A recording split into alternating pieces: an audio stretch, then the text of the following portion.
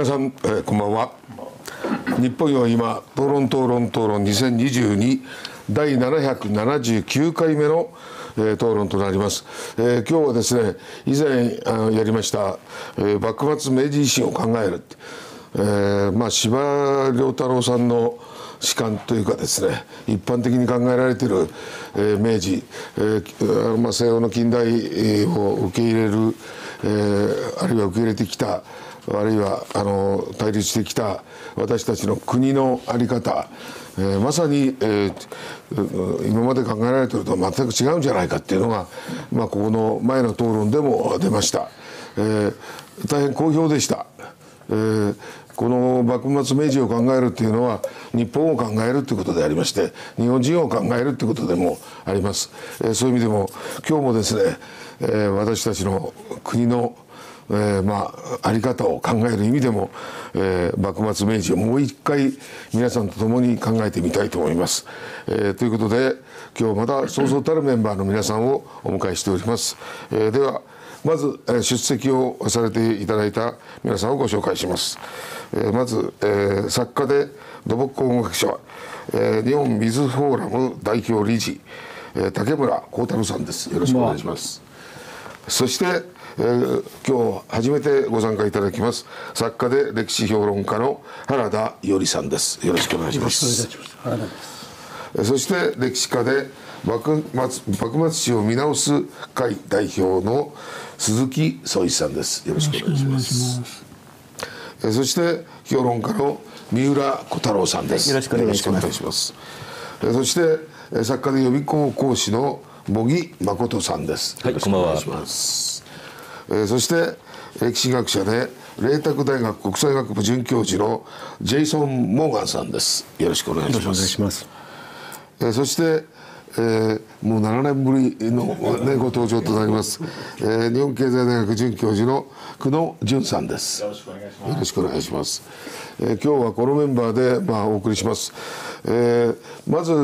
えー、皆さんのあのどういうお立場か改めてですねあの今日ここにちょっとずらっとまああの全員の方じゃないですけど、えー、皆さんの最近お出しになってる本ですけども、えーまあ、こういう本あのこれもやっぱり明治やこういうものを考える意味で、ということで、えー、なんですけど、えー、今日ご登場の原田伊織さんのご本ねこれなんかもあのね皆さんちょっとこうちょっと一応でこれみんな面白いんですけどあのこういうちょこれ話題になると思うんですけどね、えー、勝海舟という巨像とかですね、えー、明治維新の明治政府の腐敗と西南の駅とかですね、えー、歴史の検証の薩長士官これ前も出ましたけどもこういうようなことを含めてですねあのそれぞれの皆さんのお立場似た立場と違う立場あると思いますけどまずちょっとそれぞれのえー、お立場はできたら3分くらいで自分はこういうふうに明治維新幕末を見ているというのをちょっとお話しいただければと思います、えー、では竹村さんからちょっといただけますか？はい、はい、えー、竹村と申します。あの私は土木屋でして、えー、文化系の人文科学が非常に苦手でして、はい、えー、記憶力が悪くて、えー、しょうがないから大学の時に若干あの理科系がいけたんでえー、工学部に行って土木家になりました。ですからそうですね50過ぎて556まで全く歴史のれれ歴史のことを言わないで過ごしてきた土木屋でしてなぜあの歴史の話に引っかかってきたかというと日本の堤防は99.9%は全部江戸時代に作ってるんですね。明治以降は作ってないんです。放水路っていうのは作りましたけどつまり260年間で日本の全ての無数の川の堤防はですね江戸時代に作られたんです。それは私あのあの行政官やってましたんで知ってました、はい、だから私どもの明治近代化になってそれを引き継いだ時に堤防は私どもは一個も作ってなくて財務省当時の大蔵省から河川局は河川改修費をやれと。だから今の費目も河川改修費なんですよ河川建設費じゃないんです。ダムはダム建設してつきますけど、河川改修をやれと。つまりお前たちはこの問いを直して立派にしろと、江戸時代の人が作ったんだから大事にしろよと、いうことを受け継いだ僕たちなんですね。ですから今 国土交通省の河川系の行政っていうのはまあまあいろんな災害あって注目されてますけど僕たちは江戸時代のことを知らないと河川のことが分かんないからやむを得ず仕事上河川の勉強を通じて江戸のことを勉強していた。そうするとだんだんだんだんですねそういう地形私はずっと生涯地形で生きてきましたんで地形と気象で生きてきましたんでその目線から言うと歴史家の方が言ってきた話はちょっと違うんじゃないかということが分かりまして土木屋の目線から歴史をあの語るということに年取ってきて興味あの興味を出しまして、えー、やってるものでございます。ですから今日もあのお話も江戸から明治に行く時のお話も全部インフラと地形からお話をするということで、皆さん方の人間模様いろいろなお話を聞くのを楽しみにしながら聞いていきます。そうかなるほど。改修なんですね。改修なんです。建設じゃないんですね。なるほどね。河川改修費なんですよ。確かに。はい。ありがとうございます、えー、ではカランさんよろしくお願いします。はい。今の堤防のお話が出ましたけど、はい、非常に興味がありましてですね東日本大震災の後あそこを全部堤防でせき止めてはどうかという議論なり、あるいはもうこれは一部工事も実現していてどうも私たちはすぐそこで食い止めるっていう発想に陥りがちかと思うんですけれども、はい、先生あれですよねもしあそこ全て10キロ20キロ堤防を築いたとしたら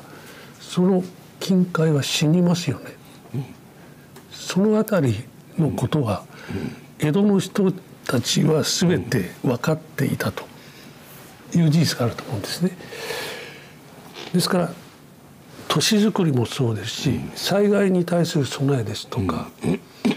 そういうことを確かに私たちは江戸から学んでい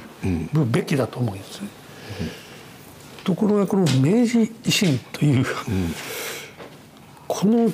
出来事の後この明治維新に関わる歴史を誰が書いたかといえば、これは紛れもなく薩摩長州政権これが書いた歴史だと私は思ってましてそこでもってそれ以前の江戸の実態、江戸の仕組み江戸のシステムこれが全部遮断されてしまっている、そこが一番大きな私は明治維新の過ちだと思っておりまして、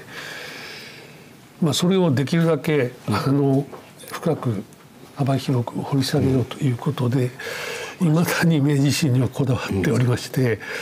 一言で申し上げれば明治維新はやはり民族としての過ちであったというのが私の基本的な立場ではこれです。はい、なるほど過ちというのはすごく興味深いですね。ちょっと過激かもしれないんですが、はい、まあ申し上げればやっぱり過ちという言葉が一番ふさわしいかなと今でも考えています。あえて言っていただいた方がね面白いと思いますけど。はいありがとうございます、えー、鈴木さんじゃお願いします。私はあの東京生まれ東京育ちなんですけど中学の時に会津若松へ行きましてそれでいろいろ考えるところがありましてですね学校で教えている教えている歴史の授業はおかしいんじゃないかと。いうことでもうこの年になるまで一貫してですねあのプロテストや抗議っていうかね、まあ、あのしておるものであります。あの私はあの あの明治政府ができた時ですねえー、太政官というのがありましてそこがあの生態書という書物を出しておりましてですねここで言っておりますのはその去年の秋にですね公正維新が成し遂げられたというふうに書いてあるんですね。去年の秋っていうのは慶応3年の10月の大政奉還なんですね、うん、だからその江戸から明治へ変わったのは明治元年ではなくてこの生態書が意味軸も言ってる通り、1年前の慶応3年10月の大政奉還であったというのが私の主張なんですね。うん、えー、しかしその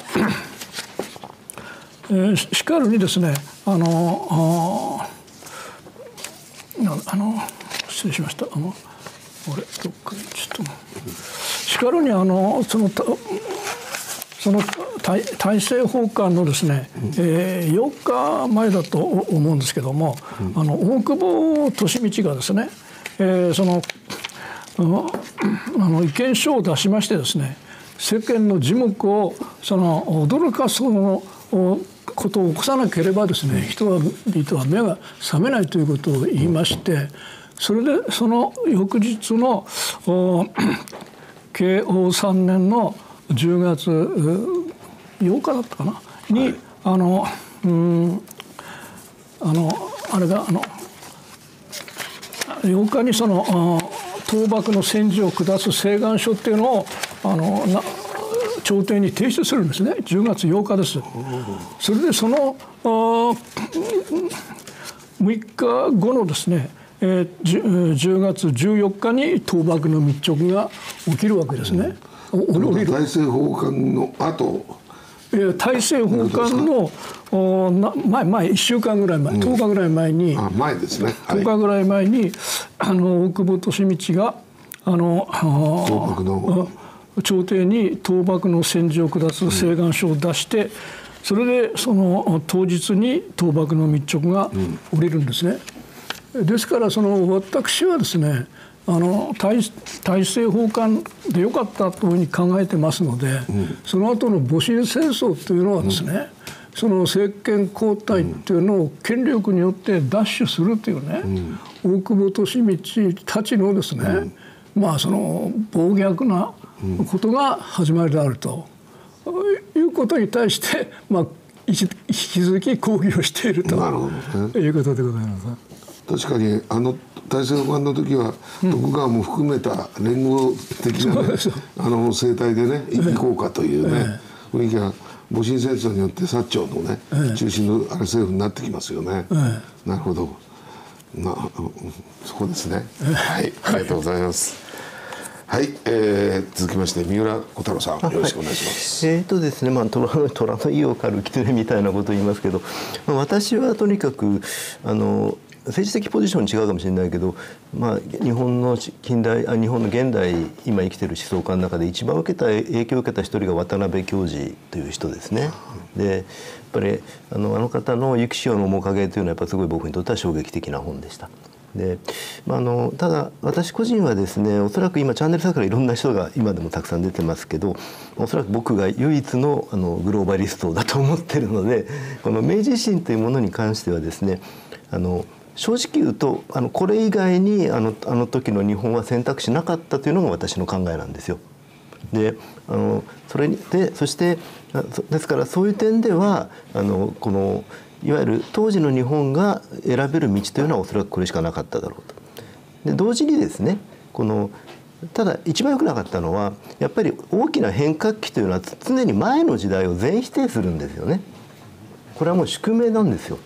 でそれは明治のある時期までは致し方なかったと思いますねだから当時明治維新の明治政府が宣伝、まあ、はっきり言えばあのかなりプロパガンダ的に作った歴史というのは今見直せばかなりの部分が間違いです、ね、例えば当時の江戸幕府一つの例を取れば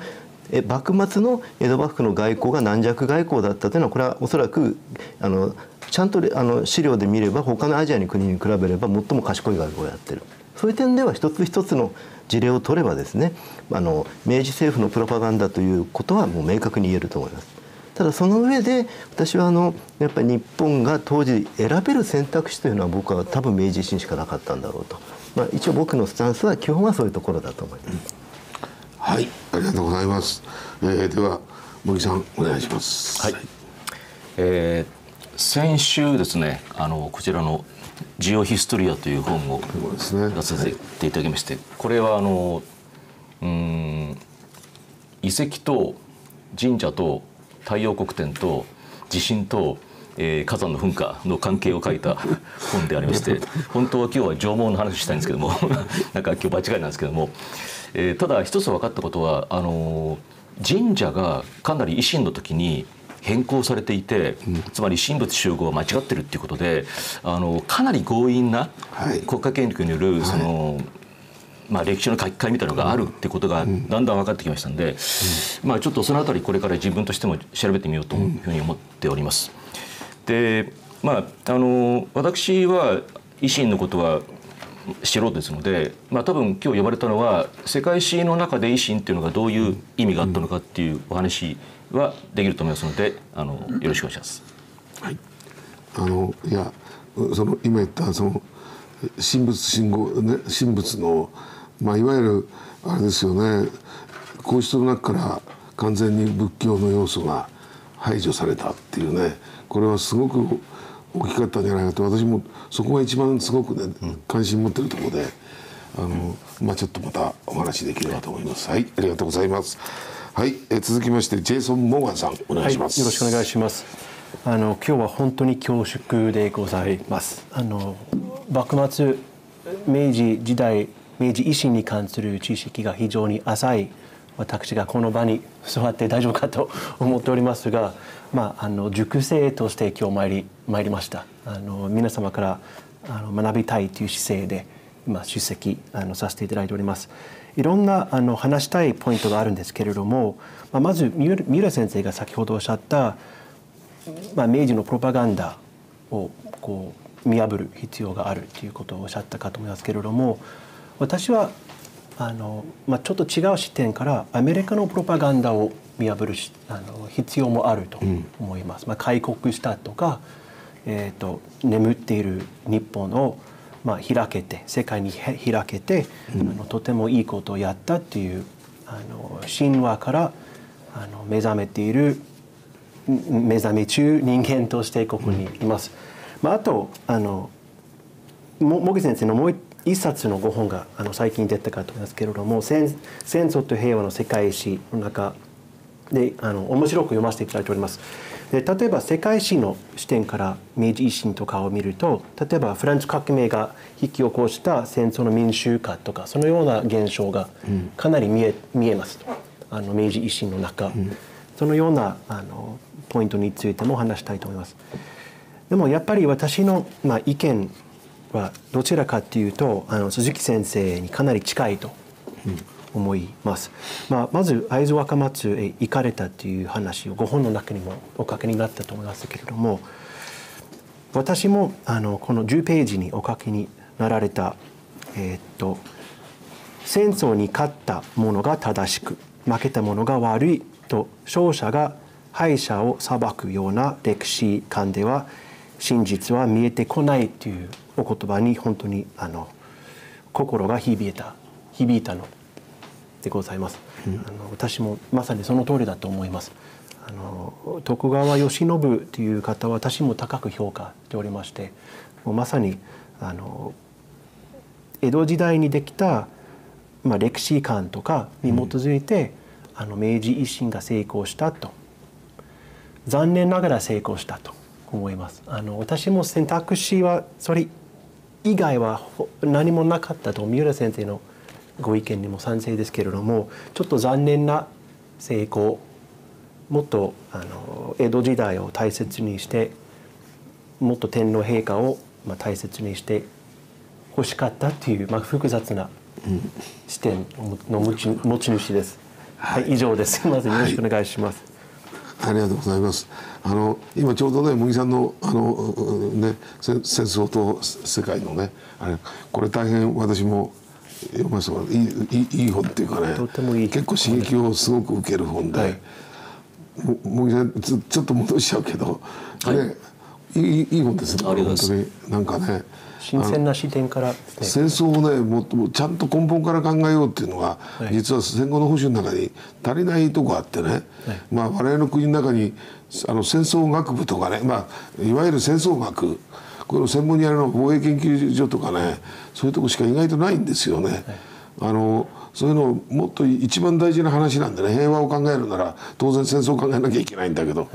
あの明治、えー、幕末の行われた戦争も含めてあのどういうところからって戦争の起源からね考えるみたいなねところから始まってるのが大変面白く読んだんですけど今茂川さんおっしゃるようにねそうそういうことでこのことも明治のあの近代西洋近代とのぶつかり合いのねえー、こともちょっとみんなで考えてみたいと思うんですけども。はいありがとうございます、えー、では黒さんお願いします。はい。えー、っとまず今日はあの幕末から維新ということでその明治維新というのがそもそも何だったのかっていう話ですよね。でその時に、まあ、私はもう率直にあのこれの本質は王政復古だというふうにあの、まあ、例えば私が講演する時にも伝えてるわけですけれども、あの戦後の教科書で特にですね新しいという言葉新という言葉がですねちょっとあのいい意味であるように使われて、まあ、新日本出版とかもそうかもしれませんけれどもあの、まあ、例えば古い順に言うと大化の改新であの兼務の申請明治維新。でもそういう言葉が「新」とつくからかえってその本質をちょっと見誤らせるようなところがあったんじゃないかと。つまり新しいことをした、面もあったけれどもその本質とか思想的なものは何かっていう時に例えば戦前の教科書を見ると「いつしの兼兼務中高」で「王政復古」と書かれてた。じゃあなんで戦後の歴史観の中で「真」っていう部分が強調されてきたのか。その辺りはやっぱりちょっと考えなきゃいけないんじゃないかということと、まああとはあの後世我々がですね後世の後輩としてあの時こうすればよかった。あるいはあの時こんなことをする必要なかったというのは簡単なんですが同時に私は歴史を語るものの端くれとしてしてですねなんだかんだ言って我々の先輩である日本の先人たちはそんなバカじゃないと。やっぱりギリギリの選択で命がけで動いた結果そうなった。ということをまずは受け止めなきゃいけませんから。じゃああの今の我々が見た時に不可解なこととか腹立たしいことがあってもいやなんかこう理由があったはずだというのをちょっと立ち止まって考えなきゃいけないのかなと。まあその例えば明治維新をちょっとこ否定的に見る方々の中には、まあ、長州藩の独裁とかあるいはその結果を生まれた靖国神社の在り方について疑義を呈する方もいらっしゃるんですけれども、まあ、例えばまあまあ詳しくは後でお話があると思いますけれども靖国神社にせよ勝てば官軍っていう側面で建てられただけではなくてもう一つはこれまでに経験した戦争よりももっと大変な戦争国難が起きた時どうやって日本人を奮い立たせることができるかというそういう大課題と向き合った結果の産物でもあったわけですよねだからそういうあたりを丁寧に考えるということがですね皆さんとの議論の中で今日展開できればあの大変嬉しいなというふうに思いまして参上しましたどうぞよろしくお願いします。はいはい、よろしくお願いします。あの皆さんからそれぞれのお立場のことをお話しいただきました。えー皆さんあえてね私はあの明治維新はそうやらざるを得なかった。ね、それと、うん、私はそういう考えね、ね、あのまあそういう面っていうのはね本当あると思うんで。あのまあでもそういう意見も中でねちょっと一番そのまあこの中にも言及されてるのありますけどしばし感ですね。あの一番結構お立場がよくわかる例としてねあの、まあ、いろいろ司馬さんっていうのはその明治の問題ねたくさん書いてますんで、えー、まあこれが結構イメージとしてあのいわゆるテレビ大河ドラマとかねいろんなもので影響されてると。皆さんこのあのこれも簡単にそのね言うことはできないと思いますけどもあのしばしかについてどんなあのお考えというかなあのまあまあ、まあ明治の皇帝ですね。それからそれ以降のあれはみんなバカみたいな感じのね なっちゃってるんだけどもあの乱暴な言い方じゃなくて皆さん司馬あのあの司馬さんのそういう小説歴史小説こういうものとかその含めてどんな立場をどんな考えを持ってるかちょっとこれもあのきっかけとしてね聞いてみたいと思うんですけどこれも竹村さんからちょっとじゃあお願いします。はい、はい。ではあの歴史家の方々本当にあのお話を聞くのが楽しみです。で私あの江戸から明治近代化になった時の一つのこのアーロト・トエンビーがあの私の大学時代も必読書だったんで読まざるを得なかったんですけどあの人類の奇跡は日本の近代化であると。明治の。日本の奇跡じゃないんですよね。彼は人類の奇跡が日本の明治の近代化であると言い切ってるんですよね。で僕これを聞いた時にあ彼は分かってないんだなと奇跡って言った瞬間分かんないから奇跡って言ったんですよね。うん、で僕は明確にあのインフラ屋から見て非常に連続性があって決してドンとどんでん返しじゃなくてある一つの流れの中で刺激的な蒸気機関車が出たり、そういうことで一気に流域に封鎖されていた日本人が尾根を越えて地形を乗り越えちゃったと。で東京に集中して江戸に集中まあ東京ですね。という私はそういうインフラから見た日本人の日本人のインフラに対インフラがものすごいインパクトを与えたということが司馬さんの本には一切なくてですね、うん、人間模様だけで言ってその人の心の中のあやり取りだけで僕は大きな物事が動いてるような、小説なんですけど僕は全く理解できないというか、そうじゃないだろうともっともっと違ったベーシックなあの歴史の転換というのはあるんじゃないかと。いうことを思っています。ででも僕は司馬さんを具体的に指定したりあの何か評価できることじゃないんですけど僕の考え方としては、もっとインフラが日本人の明治から江戸から明治への転換を大きく左右したというのが私の意見でして特にまあインフラだからそういう面を言って言わせていただいて、今日もどういうんじゃインフラなのということをゆっくりまたあの何点かお話しさせていただきたいと思います。あのインフラ先ほど堤防の話出ましたけどあの基本的なインフラ思想っていうね、まあ、江戸江戸のですねこれは自然と折り合いをつけるとかいろんな言い方あると思うんですけどどんな感じなんでしょうね？いや私はもう江戸は江戸の幕末は絶望的な世界だと思います、日本中が丸裸です。それはモーガンさんの先輩の、うん、あのあのアメリカの僕は今日モーガンさんとはって本当嬉しいんですけどあコンラド・タットマンというアメリカの歴史学者がですね、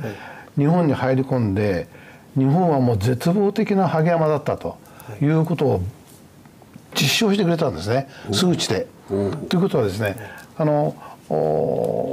神社仏閣に入っていって彼は全部縁起物をチェックして何チェックしたかというとその神社仏閣がどこから木を持ってきたって必ず書いてあるんですよね。うん、だから奈良平安江戸時代のそれぞれのどこから木を持ってきたってことを丁寧に、うん、彼は神社仏閣に全部それをチェックして、うん、日本列島の地図を書いたんです。したらもう日本列島はですね丸裸ですよ。えまだかっていうのはもうあの萩山ですで僕は、えー、幕末の時はえ僕は黒船が来て日本は助かったなと思うんですけどあのままだった日本は僕は滅亡したと思いますね、まあ、あのあれほどまで萩山全山萩山です。明治の写真ありますけど今日お見せしたらびっくりしちゃうと思うんですけど、うん。うん、北海道あ青森から鹿児島まで全部裸です。木がないです。いやいやいやそれはちょっと大変で、ええ、すごい話なんだけどあのということは、まあ、あ森林率っていうかよくあるじゃないですかこれがすごい少ないってことですか？もうほとんどないですね。あの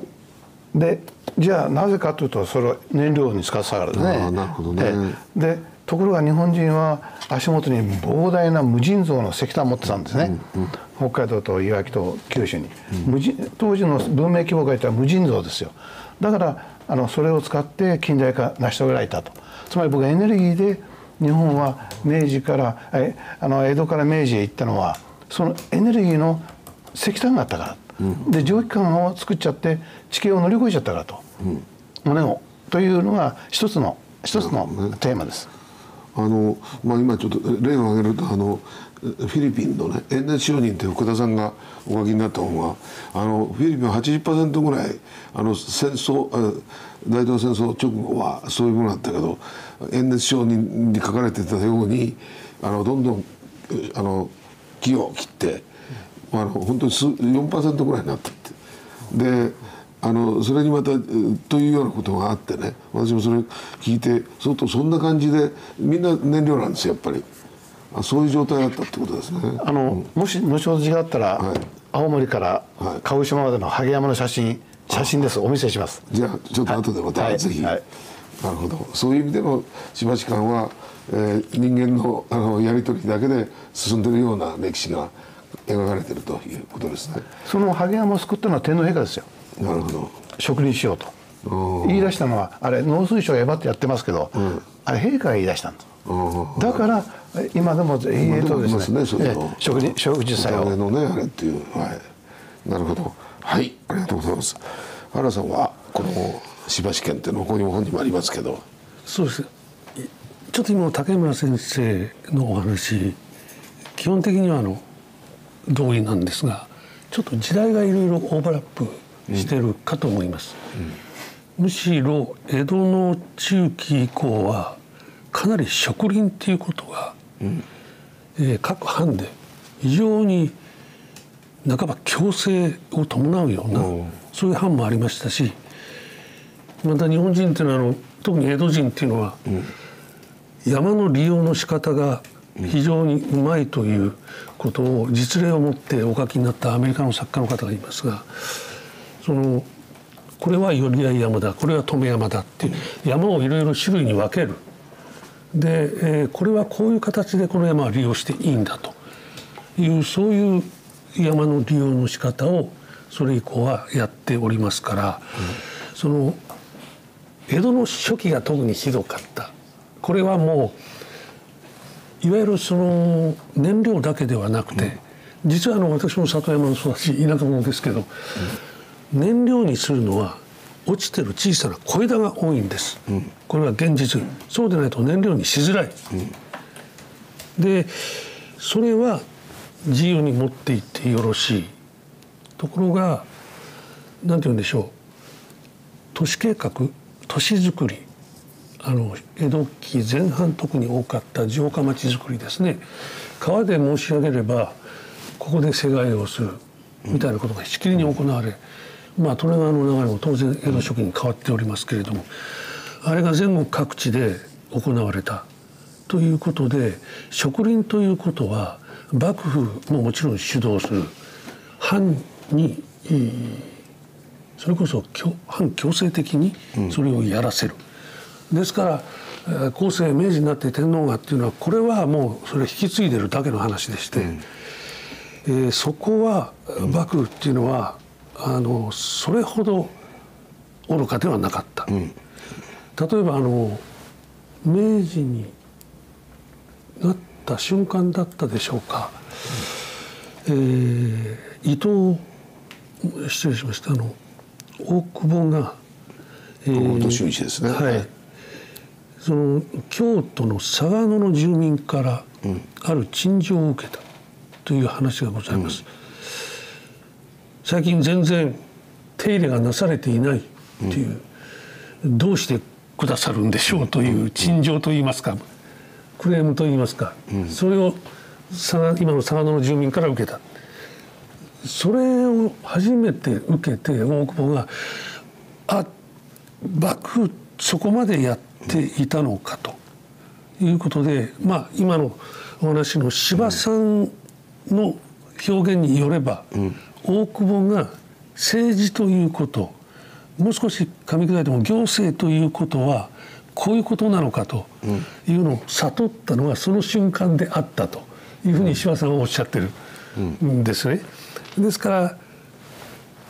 その山の利用材木の利用、うん、自然の、えー、なんて言いますか水も含みますから、うん、そういうものの利用。つまりこれは、えー、それこそ江戸のサステナブルなシステムの時にもっと論じられる話であって、うんうん、えー、単に誰の時にこれが植林がっていうだけの話ではない、うんうん、それははっきりしてるかと思います。でその司馬さんのことになりますと、うんまあ、たまたま同学の大先輩ですのでちょっといろいろ私は歯入れの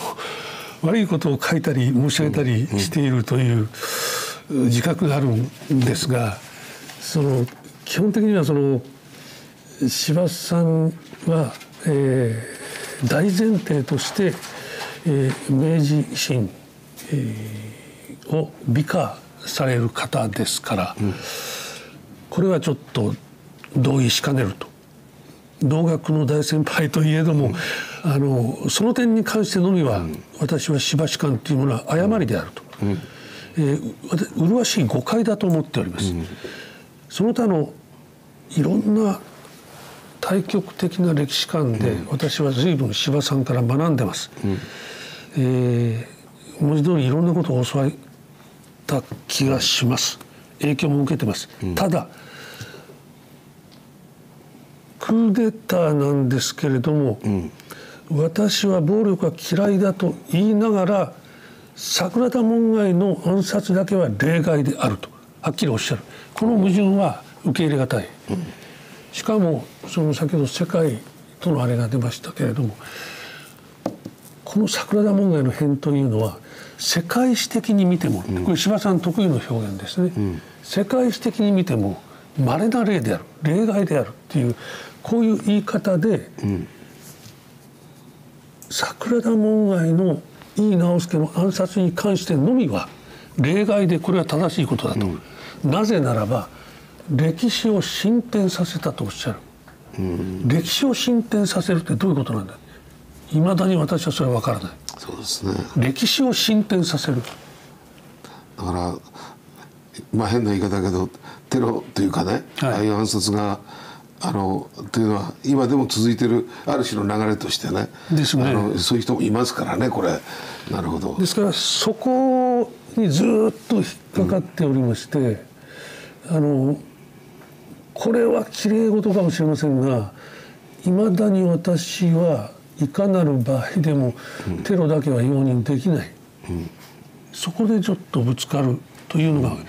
大きなこうわだかまりのように残るわけですね。うん、そしてあのしばし観と呼ばれる形で小説主に小説ですけれども、うん、そこから成り立っている世に言うしばし観っていうのはこれは例えば龍馬がそうです。吉田松陰がそうです。で土方がそうです。うん。萌えを剣にしても龍馬が行くにしてもこの物書きとしては引っかかる点もありまして、つまりあれ小説ですよね。小説の中にところどころはっきりしている史実だけは出典を明記される、うん、ところどころそれをおやりになると読者はどう思うか、うん、これ全編がなんか史実に裏付けられたノンフィクションであるかのような錯覚に陥る。そうですね。これが司馬さんのテクニックだと思います、うん、まあこれはやっちゃいけないことだと私は思ってます、うん、フィクションとしてお書きになるならそれはフィクションの体裁を全うすべきであって、うん、紛らわしい技法は取り入れてはいけないと信じてまして。ですからこれは司馬さんの作品に関しては読む側にも責任があるのかなと一生懸命思いたかったしまたそうもまだ思ってるところもあります。これはフィクションなんだよ、でも読者は受け手はそうは取れない。取らないし取れないようになっている、うん、ここがちょっとね非常にあの歯切れ悪くて恐縮ですがもやもやとしてましてですね、うんですからそろそろ私たちは、しばし間を卒業しなければいけない、肯定する部分否定する部分いろいろ含めて、うん、えー、それをむしろ総括の一部にしなきゃいけない。そんな気がします。なるほど。はい。あの竹山さん今ちょっとその時代によって江戸の中違うんじゃないかっていうね いうことなんで後でまたちょっっとその写真も見せてご説明ください。コンラド・タットマンがですねえー、木曽川筋の木曽川筋は全部あの直轄だったんですけど、うん、直参国の江戸の幕府の直轄直轄だったんですけどそこで台帳がありましてですね1600年からずっと木が切り出していって1700年にピーク立って1800年に向かってザーンと減っていくんですね。見事な実は後ほどグラフお見せしますけど江戸時代に森林のオイルピークがあったんです、まあ一種のオイルピークですね、ピークがあって下がっていってもうほとんどなくな出荷がなくなっていくデータが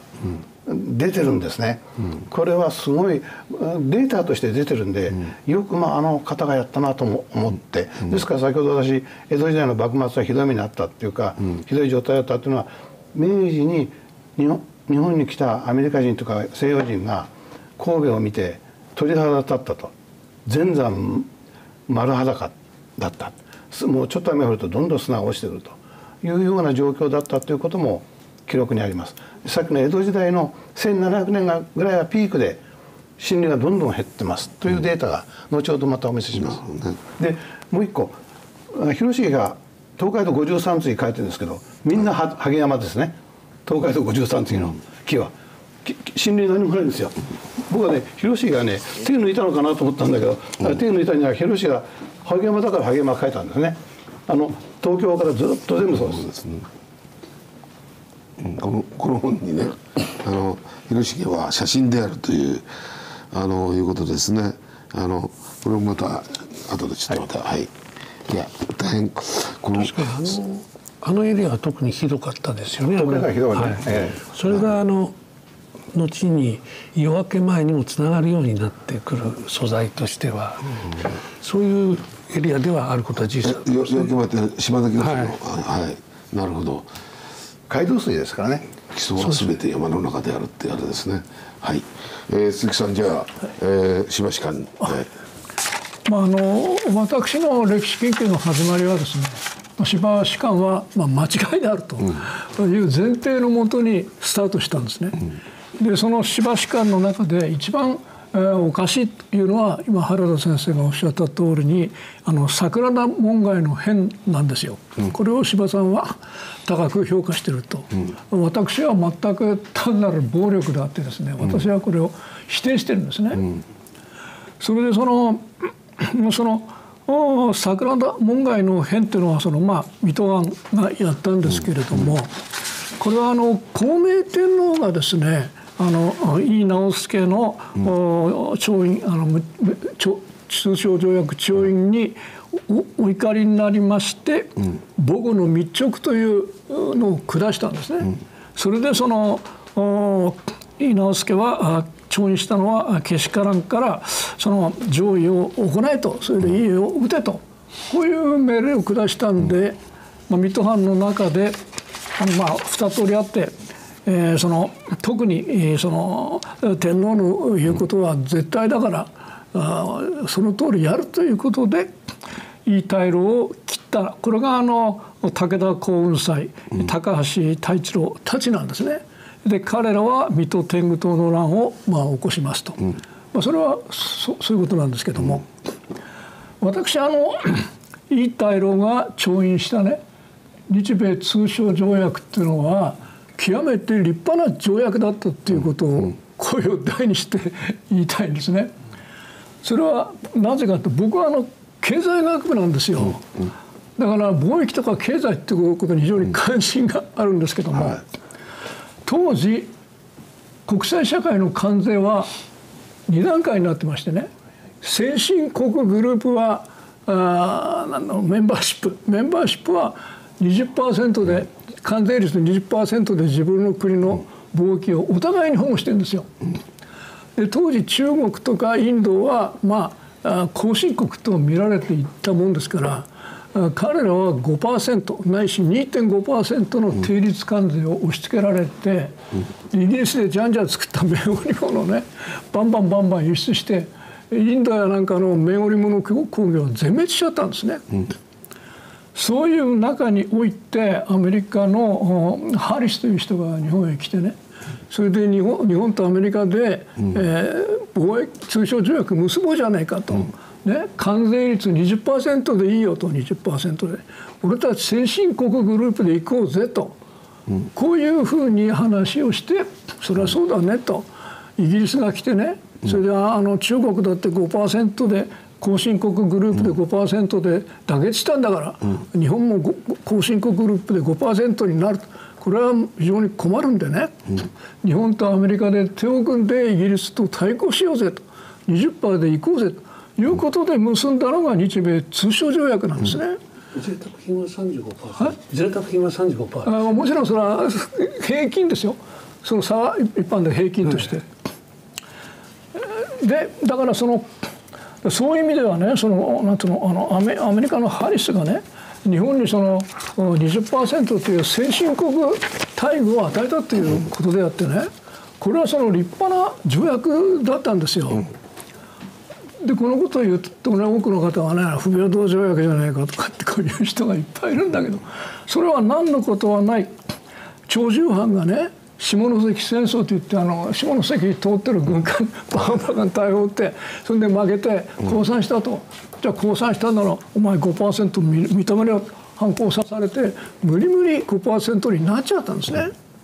でこれはですからこれはその幕府が悪いんでも何でもなくて長州藩の下関戦争によって5%になってその被害を日本人が大変受けたわけであってね。そそれでまああの完全に試験回復したのは日米総争勝つまでよとそれはおっしゃる通りなんだけどもここで20%というかを勝ち取った日米通商条約ねこれを結んだいい対論というのは立派な人でそれをこう襲って殺したらねもう気違いの沙汰だというふうに思ってそれで芝士官とはですね決定的に対立してやっております。なるほどはいありがとうございます。え村さんはどうですか？芝士官っていうか、まあ、私はそもそもの芝士官って言葉はもう使うべきでないと思ってるんですよ。あの例えばちょこれ名前出すとまずいかな、うん、あの百田直樹士官とか言わないじゃないですか。うん。あのもともとあの司馬さんっていうのは僕はすごく好きな小説家なんです。あの今でも僕はあの「燃えよ剣」っていうのはすごい好きですよあのただ燃えよ剣が事実だとか別に思わなきゃいいわけじゃないですか、うん、要するにあれは新選組っていうあのかなり今からあのおそらく事実としては非常に残酷であのまあ、組織だったものをねあの本当に可愛らしい不良少年の集まりみたいに描いてそれがやっぱり読者にすごい喜びを与えるわけですよ。でそれはいいことだと僕は思いますけどそれをなんでけなす必要があるんだろうと。あの、随所に盛り込む、うんこれをそれは読者サービスなんですよ。それはサービスとしてはかなりレベルが問われる。まあ、それはあのまたあのそれぞれの価値観あると思うんですけど、まず最初に僕がやっぱりあの高校生とかの時にあの正直言って僕が教わった歴史の先生はかなり立教祖の中でもあのとても性格のいい先生でしたけど左派的な先生だったですね今思えばね。でもねあのその考えにそんなに染まんなかったのは僕は司馬太郎のおかげなんですよ。当時やっぱり、やっぱりそれはあの今のあの視点で全てを見るんじゃなくて60年代70年代に司馬太郎の小説がどういう意味があったかっていうことを見ないとそれはやっぱり不公平になると思います。あの時にあの私学会から何からがね、まあ、全部じゃないですよ全部じゃないけど主流としては学校教育から何からがそれこそあの明治維新そのものもあの今日の議論とは違ってフランス革命のような徹底した革命じゃないからいけないんだという感じのそれこそ左派からの批判がいっぱいあった時代だったんですよ。その時にやっぱりこれは近代国民国家を作った日本人のやっぱり偉大な歴史の物語なんだということをやっぱりそれは少なくとも僕とかに教えてくれたのは司馬さんです。でそれをあのただ今になってそれを読み返してみればそれは司馬さんの書いてる明治っていうのはもう出てくる人間が全部近代人ですから下手したら現代人なんでこれやっぱ歴史あくまでエンタメであって歴史そのものではないですよね。だからやっぱりそういう作った役割というものを今公正に見なくちゃいけないんで司馬さん自身もやっぱりすごくある種大物になっちゃったもんだから歴史あの歴史家みたいなことを語らざるを得なくなってまた語ればそれなりにやっぱり言葉うまいから人気になったと思うんですけど基本的にはやっぱりそれはあの素晴らしいエンタメ小説としてあの吉川英治とかそういうレベルで考えるべき。人なんですよ。全くそれはだからそういうふうに考えれば問題はない。ええ、でであの司馬さんの明治あの明治維新史観の中では完璧に抜け落ちてしまうのがやっぱりあのもちろん皆さんがおっしゃるような幕府側のですねあのこういわゆる体制内改革の偉大さみたいなものも抜け落ちますけど逆に言うと吉田松陰とか西郷隆盛とかああいう人は描けないんですよあの人は。なんでかというとあの2人はあの徹底あのそういう司馬さんから見たら非常にラジカルな反近代主義みたいなのを持ってる人たちっていうのはやっぱり書けない。で坂本龍馬が書きやすかったのは資料があんまりなかったんで想像力が こう作れたっていうのとあとやっぱりあのあそこで出てくる坂本龍馬っていうのはあの近代ビジネスマンの姿ですよ。お互いの利害を調整して あの会社と会社仲が悪いのを融合させてそれはやっぱりあの現代人にとってやっぱりこう分かりやすいストーリーだから、だからそれはとても楽しく読めた。だからそういうものとして今見ればいいのでしばし感ということ自体はやっぱりそれはまた虚像ですし歴史学者でもないわけだから、だからそういうところであのこれからは正当にねエンタメ作家としてやっぱり読まれていけばいいんだと思います。そうですね。まあ、あのおっしゃるそのことで今ね原さんも言ってたように私なんかもやっぱり最初読んだ時はいやそのさっき言ったねそれ注釈じゃないけども。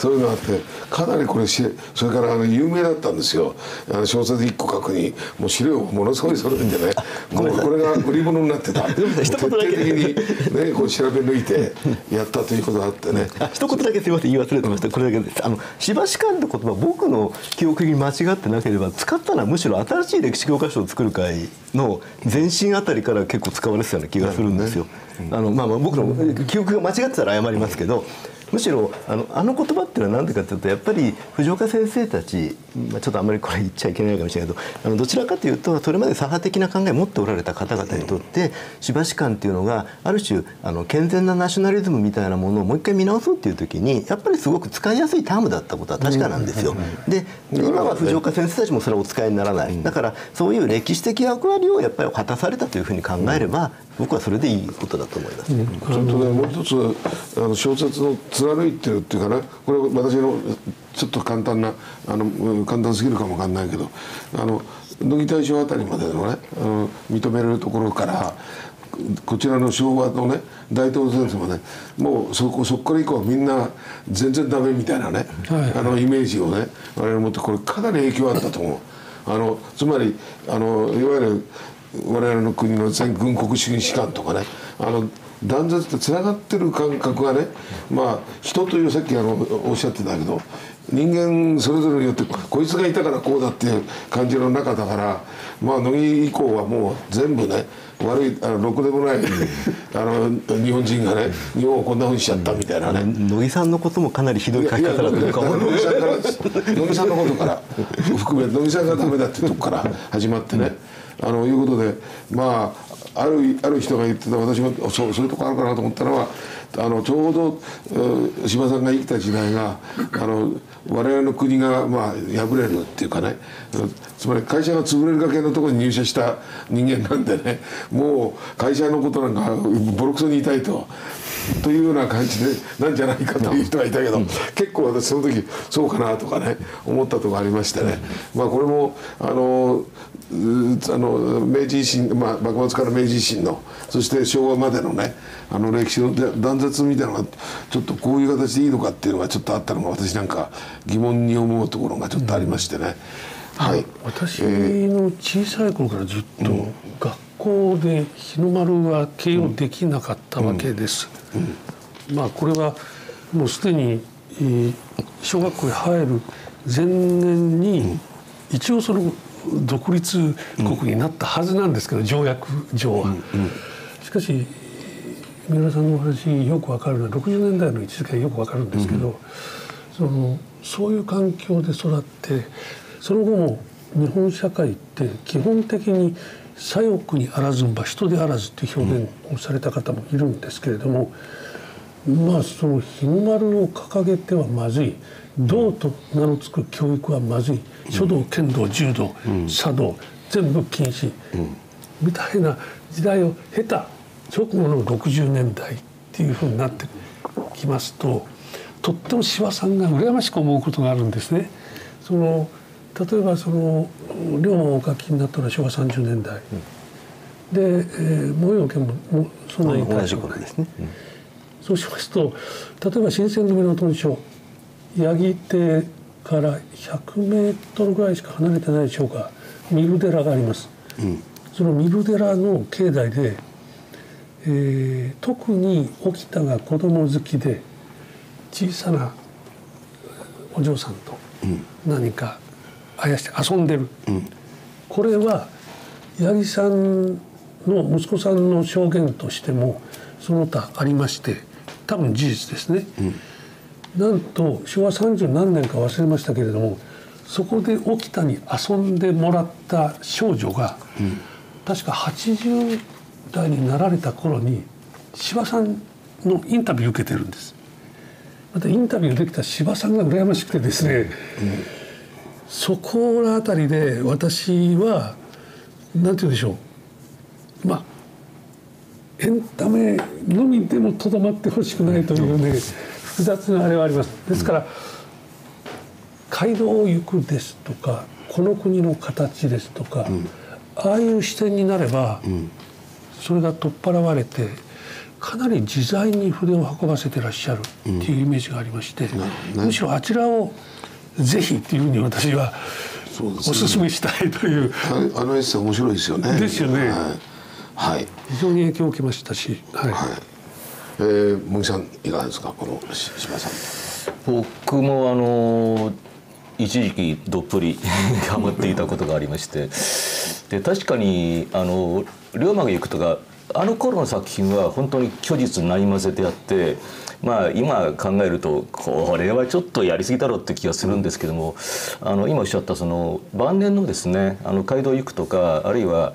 えーっと魚の上の雲なんかは非常に実証的であって私はあの魚の上の雲を読んで初めて分かりました。うんでしかもあの柴さんがあれだけビッグネームになっちゃったんでま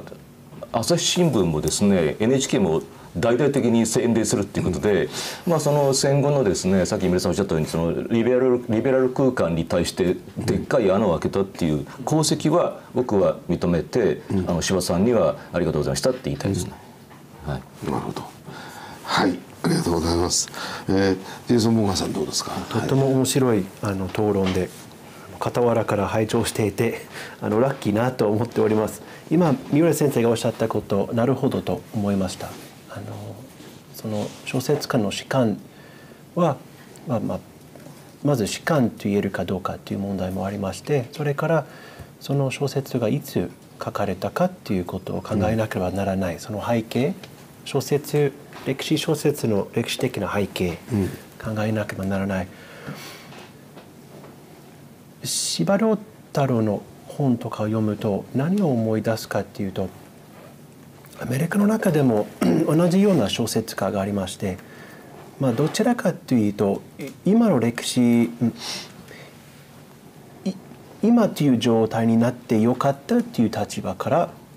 まあ、書いた小説が多くありまして、いろいろあったんだけれども、まあ、今までこうたどり着いてよかったっていうような主観が、あの非常に、まあ、多いですけれどもうん最近あの別の話で恐縮ですけれどもあの啓蒙主義について調べていてちょっと論文書いてるんですけれども私はあの啓蒙主義根本に否定している人間で啓蒙主義を壊さなければならないと思う人間でで私のような人間にあの賛同してくれる人ほぼいないなんですよ。あの私が小説を書けば誰も買ってくれないと思いますそのような小説は。あの小説家としてはやっぱり本を買ってほしいっていうのも当然ありましてそうするとあの例えば先ほどご発言があった歴史を進展させるそのふうに書かなければならないと思います。でも私はそのような言葉を聞きますとヘーゲルとか、まあ、バリバリ啓蒙主義者歴史を進展させるっていう立場実態が恐ろしい私はそう思います。うん、あの蓋を開けてみると鈴木先生がお書きになったことが一番あの本当の歴史に近いじゃないかと思います。まあ、複雑です。100%この人は悪かったとか良かったとかと言えないで、まあ、今たまたまこのような歴史になったんですけれども当時はどうなるかと誰も分からなくてごっちゃごちゃな、まあ、現実だったと思います。うんどちらかというと、うんまあ、アメリカっていう神話を肯定する小説家の本はあまり読みたくないっていうのが神話を壊したいタイプで司馬遼太郎さんの小説はとてもいいと思いますがうんもうちょっとまあ何て言いますかね。そのような今を肯定する鹿の破けたい、うん。うん、っていう立場です。はい、はい。ありがとうございます。えー、黒さんはどうですか？はい、あの私多分今日のねあの出演者の中で一番あのじゃこいものの昭和55年生まれなんですけれどもおそらくはあのベストセラーとなった司馬遼太郎の諸作品をあのまあ、なんていうんですかね歴史好きとか歴史通になりたい人たちの中でそういう司馬遼太郎の作品をあの読んでない最初の世代じゃないかなと思うんですね、うん、つまり私よりちょっと上の世代の方以上になると、うん、なんかこう歴史に詳しいといえば司馬遼太郎を読んでるか読んでないかみたいな一つの指標になるような感じで、まあ、もちろんそれは史実かどうかというのはまた別の話なんですがでそれで私もだからそうじゃないそこから脱却した世代としてあの後からまあ長じてよりというかですね、まあ、こういういうあの研究者になってから司馬作品を読み直してみるとやっぱりちょっと今の話に関わって言うとあの明治維新を本当に司馬太郎はあの肯定してるかどうかというちょっとそこのその疑問に行き着くわけですね。例えばさっき乃木大将の話も出てきましたけれども、うん、乃木大将だけをあのなんか、まあ、ディスってるというかね馬鹿にしてるのかというとそうじゃなくて乃木大将がなんで第三軍司令官に任命されたかというとこれは薩長罰の産物だと言っているわけですね。あのまあ、特にその乃木大将とそのあの一次参謀長を、まあ、薩摩長州でバランスをとってだそういう明治時代のそういう構造自体に問題をやっぱり見出してるあるいは彼自身が感じているということは本当に明治維新を肯定してるかというのが一つ私の疑問だと。いうのともう一つでもさっきおっしゃったあの皆様方がおっしゃった中ではその当時の世相からしてもう確かに私が生まれる私はだから昭和55年西暦では1980年生まれですけれども私が生まれる20年ぐらい前とかは本当にもう日清日露戦争だっても侵略戦争みたいなね、うん、あの価値判断で歴史学会で語られてた中で、うん、ややあの日露戦争は日本があれだけ頑張ったんだ、ね、しかも侵略とはちょっと違うというふうなタッチで抱えたので、まあ、当時の保守派からすればあの大変こうありがたいあの議論だったと思う一方ででそういう利害一致は実は保守派からだけじゃなくていわゆる左派左派との利害一致もあってやっぱりそれがやっぱり乃木大将。つまりどういうことかというと結局乃木大将の評価っていうのは乃木大将一人にとどまらずにやっぱりこうあの乃木大将というと、まあ、海軍では統合元帥。で陸軍では乃木大将が戦前の日本で最も尊敬された軍人だったわけですから戦前の陸海軍特に陸軍とかを否定する陸軍軍人を否定するためには乃木大将一人を潰せばもう、まあ、ほぼ全否定になるようなところがあるので乃木大将をちょっと否定的に書いてる「坂の上の雲」というのはある程度その、まあ、日露戦争をなんか否定はしてないんだけれどもでも乃木さんを否定するという時点でいわゆる左派からもあのなんかこうちょっと使えるなということでそういう奇妙な立ち位置から結構あの、まあ、市民権を得たというかですねあのまあ、あのそういうふうな立場を確立したのかなと思うんですが、まあ、当然私みたいな研究者からするとそれが本当に史実なのかということをまた別枠でちゃんと考えなきゃいけないわけで例えばあの私だって明治維新が何でもかんでも正しかったとか長州藩はもう全部ああいうことをやって仕方なかったんだとは言いませんけれども一方で会津がひどい目にあったっていう一方的なあの価値判断もやっぱりちょっとあの司馬太郎のですね街道欲とかの影響はかなり強いのでそういうところはちゃんと冷静にまた見て我々の世代で見ていかなきゃいけないだろうなというふうには考えております。なるほどね。はい。えー、まあ今皆さんが出ましたけど皆さんの中でさらにちょっと一言というのはありますか？うん、まああのあの前半、はい、エネルギーの話だったんで、後半は違うと思うんでちょっとざっと、はい、あの先ほどのね、ご紹介しまテレビを見ていただいて画面を見ていただければいいのかな。はい、あのこれがとあの、えー、と少し、うん、あ見やすくなってきましたね、うん、はいはい。あの昭和からあの明治あの、明治大正昭和です、はい、これは青森です、まあ、北からざっといきます、うん、これ東京。これ神奈川県、これが神奈川県足柄ですね。竹山ですね、山梨。なるほど。長野愛知滋賀大津。これあの山の山林の砂防が始まった時ですね、うん、滋賀県大津。安、うん、山科。やあの山科が拝山ですよ、うん、でこれが比叡山。比叡山の信長の比叡山の役者なんて、うん。えー、罪軽いもんでね。もう丸裸です。岡山山口。香川県、鹿児島。沖縄。誰が来たかというと私とのじいさんバスが来たんですよね、うん、で先ほどのこれがあのコンラード・タットマンが作った天竜川から木材がどんなふうにで出てきたかという数字をものすごい丁寧に控えてたんでそれを図にしたのは私ですけど1960あ1600年代から始まって初期データないんですけど、うん、1700年ピーク打って、うん、あとはもういくらやってももう木材出なくなっちゃったと。うん、でまあこれが先ほどオイルピークって言ったのは実はオイルピークはこういう概念でもう巨大巨大電話発見し終わっちゃったというオイルピークと同じだなということを言いました。なるほどね、はい、いやまあこれはこれで本当に里山とか今ね我々あの今実はメガソーラーでどんどん来てるんですね。あのメガソーラー事業の山肌を森を山の木をどんどん切ってそこにソーラーパネルやってるっていうのはねそういうこと本当に最近目についてひどいんですけどもあの、まあ、そういう意味でもあの自然とか世界っていうかなあのそういうものにどういう感じで対応してたの？あの意識持ってたのか。あの生活手段としてあの前にちょっとこれさっきのちょっと言ったフィリピンの萩山の問題ですけど全部木を切られた後あの JICA っていうかね日本の JICA が植林事業ということでフィリピンにみんなフィリピンの人を雇って山にみんな苗を 植えてやったんだけどもあのちょっとあのまあ成長が早いちょっと大きくなるとみんな来ちゃう。でまた炭にしちゃうっていうね。ででまた来てくれというような感じであのもう山とかそういうのがなんていうんですかあの、もう本当生活の手段でしかない。あの鎮守の森とかそういう意識のあんまりあの自然との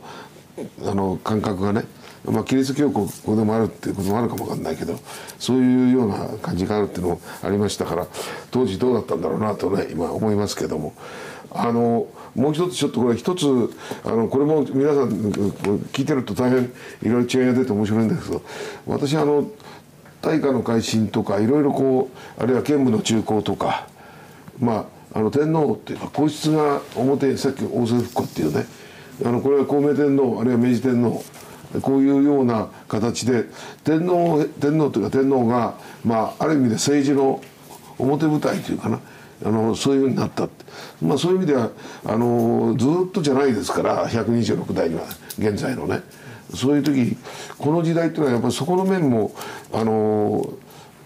まあ神戸天皇はあの暗殺されたっていうねそういうあの話もあるぐらいでね。あの、まあ、そういう意味でのあの明治時代っていうのはあの皇室というものが表に錦の御旗というはなかったとかいう話もありましたけどそういうねえー、ことを含めて天皇がやっぱり出たじあのというか政治の前面に出てきたあの時代でもあった。で、まあ、それとさっき言ったいわゆるよく言われる薩長士官あの薩長が作った士官であるというねあの明治の勝者が作った士官だという言い方もされてます。もちろん当然あの戊辰戦のそう見てもね勝った側があの正義ということはあの言われてると思うんですけどこの辺のねとこもう一回ちょっとそういうところで皆さんのあのお考えあったらねこれも私ちょっと司会として実は聞いてみたいなと思ったところであの兼務の中高とかこういう王政復古っていうね先ほどのあの大政奉還も含めてねあのちょっとこの辺の時代ともう一つあのあの薩長士官についてもえー、ぜひちょっと、えー、見解をお伺いしてその中で少し議論できたらと思うんですけど、えー、またいつもスタートで申し訳ないけどどうですか？まあ、あの僕は実はその辺のコメントできないんですけど、うん、あの一つだけ言えるのは王政復興も大政奉還も見てまして、はい、あのそして明治28年の帝国議会を見てまして不思議なのはですね通訳がいないんですよ。世界でこんな3,000キロも離れた日本列島で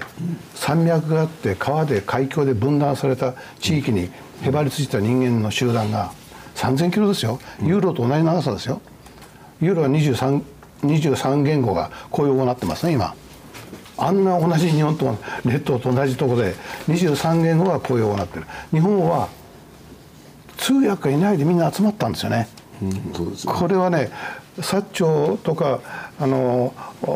幕府の話もありますけど日本語で喋ってたんですね。だから僕はこの日本語で喋ってた原因は何かというインフラだと思います、うん、そのインフラを支えたのは何かってまた長くなりますけど要はインフラが日本人を支えてたということでその上にインフラの舞台の上で踊る人間はいろいろあるけど僕はそのその役者のことは僕はコメントできないんですけど、インフラが日本人を支えてたと、いうことだけはお話っていうか主張したいなと思ってます。あの例えばそういう意味で言うと、えー、東海道とか長線島とかねこういう道路というか全国的に、まあ、それから奥の細道にしろあの参勤交代とかいろんな形であのまあ各藩の反省はあったけど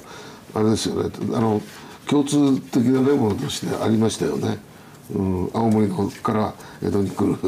薩摩から江戸に来るみたいなね。こういうそういう意味での道路やいろんな意味でのインフラっていうのがあったことはそうですよね。やっぱり船ですね。あ船ですかあとは。日本列島はネットは船の水運の蜘蛛の巣のようなネットワークの上にいたんですね。そうですね。北前線とかね、え海だけじゃなくてそれから川の中ずっと入ってるんですよ、引き船で、うん、本当に山の中まで、うん、山の中まで引き船で行ってるんですね、うん、ですから何をあの江戸に行く時の船は何かというと木材とかりみかんとかお米ですけど帰りの船は何かというと何もなくてひっくり返っちゃうんで何を詰め込んだかというと浮世絵とかカラワンです。情報を詰め込んだんですね。だからいや全国津浦の人々はもういつも瓦版を読んでたんですよね。参勤交代もありますけど僕はこれがね260年間ずっと子供たちが見てたら寺子屋のせいじゃなくて親父は袋に教わって何て読むんだとうちでも勉強したんじゃないかと思うんですね。すねというそのインフラっていうのはその船のネットワーク情報ネットワークで日本人は支えられたということが僕のあの一つの答えなんですけどね。なるほどね確かにその視点は、通訳がいないですもんね。い、いないです。薩摩弁が大変ね、あの分かりにくいとかいう話あるけど、うんなるほどね。そういう意味での全国的なつながりがインフラによってできてた。海の道陸の道、うん、なるほどね。あと情報ですね。伝わってたってことですね。まあ後でちょっと聞きたいと思うのはあの結局今の答え答えの一つになると思うんだけどなぜ我々の国が欧米の植民地にならなかったっていうね。これ明治維新の一つのねあの大前提でもあるしあの江戸幕府のねあの取った政策それからあの明治維新になってから政策はあの開国なんですよね、尊皇攘夷って言った人たちが開国に変わってるっていうのともう一つは幕府の役役人も私が知る限り結構登用されてるという、まあ、やらざるを得なかったんでしょうけどもということも含めてああのまあそれもお聞きしたいと思うんですけど、えー、原田さん先ほど言ったちょっとねあのーそういった問題については何かあのお考えございますか、えっと、今のインフラの問題ですけど、まあ、これ非常に大きいと思うんですけど、ちょっとだけあの補足させていただくと、あのそれぞれ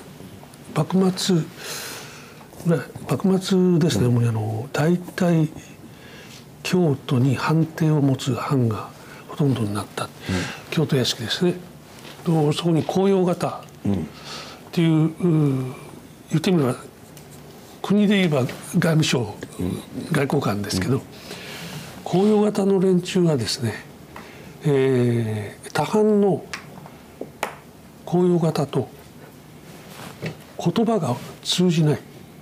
ということがたくさん実例としてあるんですね。うん、ですからそ要は程度の問題だけをちょっと注意して、あの考えなきゃいけないなっていう、確かに3,000キロあって他の地球上のエリアに比べれば、共通といいますかそれはあったかと思うんですがほとんどわからないっていう証言も多々あります。それはそれこそ津軽津軽藩と薩摩藩の公用型が話したらなどうなるかってこれ NHK で一回実験ありましたけど現代でも全くわからない。ですからこれは、えー、まあ司馬さんも先ほどの司馬さんもまさに外交官だったっていう表現してますけど、そのあたりはちょっと程度を考えなきゃいけないなっていう思いが一つあります。うん、文章かあとはあのそれは便利ですよね。そうですね。それはあの確かに情報も船便、とにかく周運っていうのはものすごく発達してましたから大阪今で大阪市内もそうですし、うん、江戸のいわゆる主引きされたあの船小船もそうです、はい、船便はすごい、うん、近海航路東回りと西回りですか、うん、ただこれも整備されてきたのはどんどんどんどん、うん、1700年代後半になってきますから、やはり樽海船であったり北前船であったり、その目的別の船あるいは行き先別の船ってこれ分けて考えないとあれなんですけども、樽海船はスピードが売り物。じゃあ帰りにこういうものがいいっていうそのできるだけ、えー、日持ちが短いものを上方へ送れっていうようなことになってきますからやはりそれは物資が中心であったということですね。うん、で特にあの上方から江戸御府内へ送る時に一番重宝したのは送る側も儲かったのは今でいう日本酒ですね。おあそういえばそうですね。これがあの新酒を送ってくるんですよね江戸に、うん、なかなか江戸ではできなかったといいますか。それがあるでじゃあその情報面教育面でどうこれは あの江戸の後期ましてさらに私徳川近代と呼んでますけどその頃になりますとあの田舎の指定も今でいう塾みたいなところへかなり通っている。とっても忙しいというあのいろんな証言記録がありますので、教育にかける教育投資って言いますかこれは現代の親もびっくりするぐらい、みんな一生懸命だったっていうそういう側面があるということも、やはり無視できないなとそうですね。考えですね。いや今のお二人のお話まさにからそうなんだけどなぜ日本は独立保てたかっていうねそういう意味での教育の問題とか、ね、そのインフラ整備の問題とかいろんなことがねやっぱりあのた、まあ、他のアジアの国とちょっと進んでたとこあったっていうことになるんでしょう。あの鈴木さんはこの辺の問題どうですか、うん、はい。まあ、日本があの植民地にならなかった最大の理由はですねやっぱ徳川幕府がね通商条約とかの法律を、うん、条約を結んでかつそれを実行したってことなんですね。うん通商条約は調印したのは稲之助だけどあと朝廷の直許を得なきゃならなかった、うん、これを徳川慶喜が直許を得た、うん、それから兵庫開港すると約束していた。これも慶喜が実現した、うん、だから対外的な公約は全部実現したわけですよね。えー、それで戦争はしないということだから植民地になる理由が全くないわけですね。うん、それは一つ大きいというふうに思ってます。うん、あのまあ、つまりつけ込む隙をつけ込む隙を与えなかったと。日本がね。植民地にするうん、されるする理由もされる理由もないと、うん、それで特に徳川慶喜はあの大政奉還をした時にあの三権国家三権分立を行うということで、これはあのオランダへ留学したあの西天音の施設でねそういうふうにしてですね、えー、1万石以上の大名が約250あったんだけどこれを上院議員にすると、それから各官2名ずつ下院議員を出させると。それで従って、まあ、これが衆議院250人、あ失礼しました。参議院250人衆議院500人のこれ形になってるわけですね。そういう意味でその国内では戦争をしないで議会制度に制度に持っていこうということでありますからですね、これはどの国も植民地にする理由も何もないんであってですねまあ先進国入りするなら仲良くやろうぜというふうに先進国に受け入れられたというふうに思っております。あの、まあ、大砲で負けてますけども あの下関のあれとかね。あの鉄砲とかこういうもの日本のそのあの幕府だけじゃなく軍事力ですね。こういうのはどうだったと思います？鈴木さんは。あのいわゆる植民地としてね、はい、あの武装を支配するっていうかな、はい、いろんなことやってるじゃないですか、はい、あのまあ薩摩も下関あ下関長州もねそういう目に遭ってるわけですよね。この辺は軍事力というのは鈴木さんなんかまあですから長長州の場合はあの下関海峡を通ってる普通の商船に太平洋打ち込んだわけだから、これはひどいよねということで、うん、えー、攻め込まれる。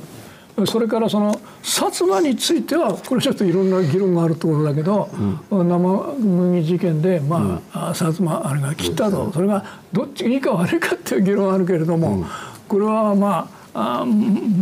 けしからん暴力だということであるとまあ責められたという部分はあると思います、でも幕府はそういうことは一切してないんで、外国人に切りつけるとか無謀なあれに逮捕すとかそういうことは一切してないので、うん、攻め込まれる植民地され攻め込まれる理由も植民地にされる隙間を与えていないといなかったと。国際公約を全部守ったという点だと思いますね。いや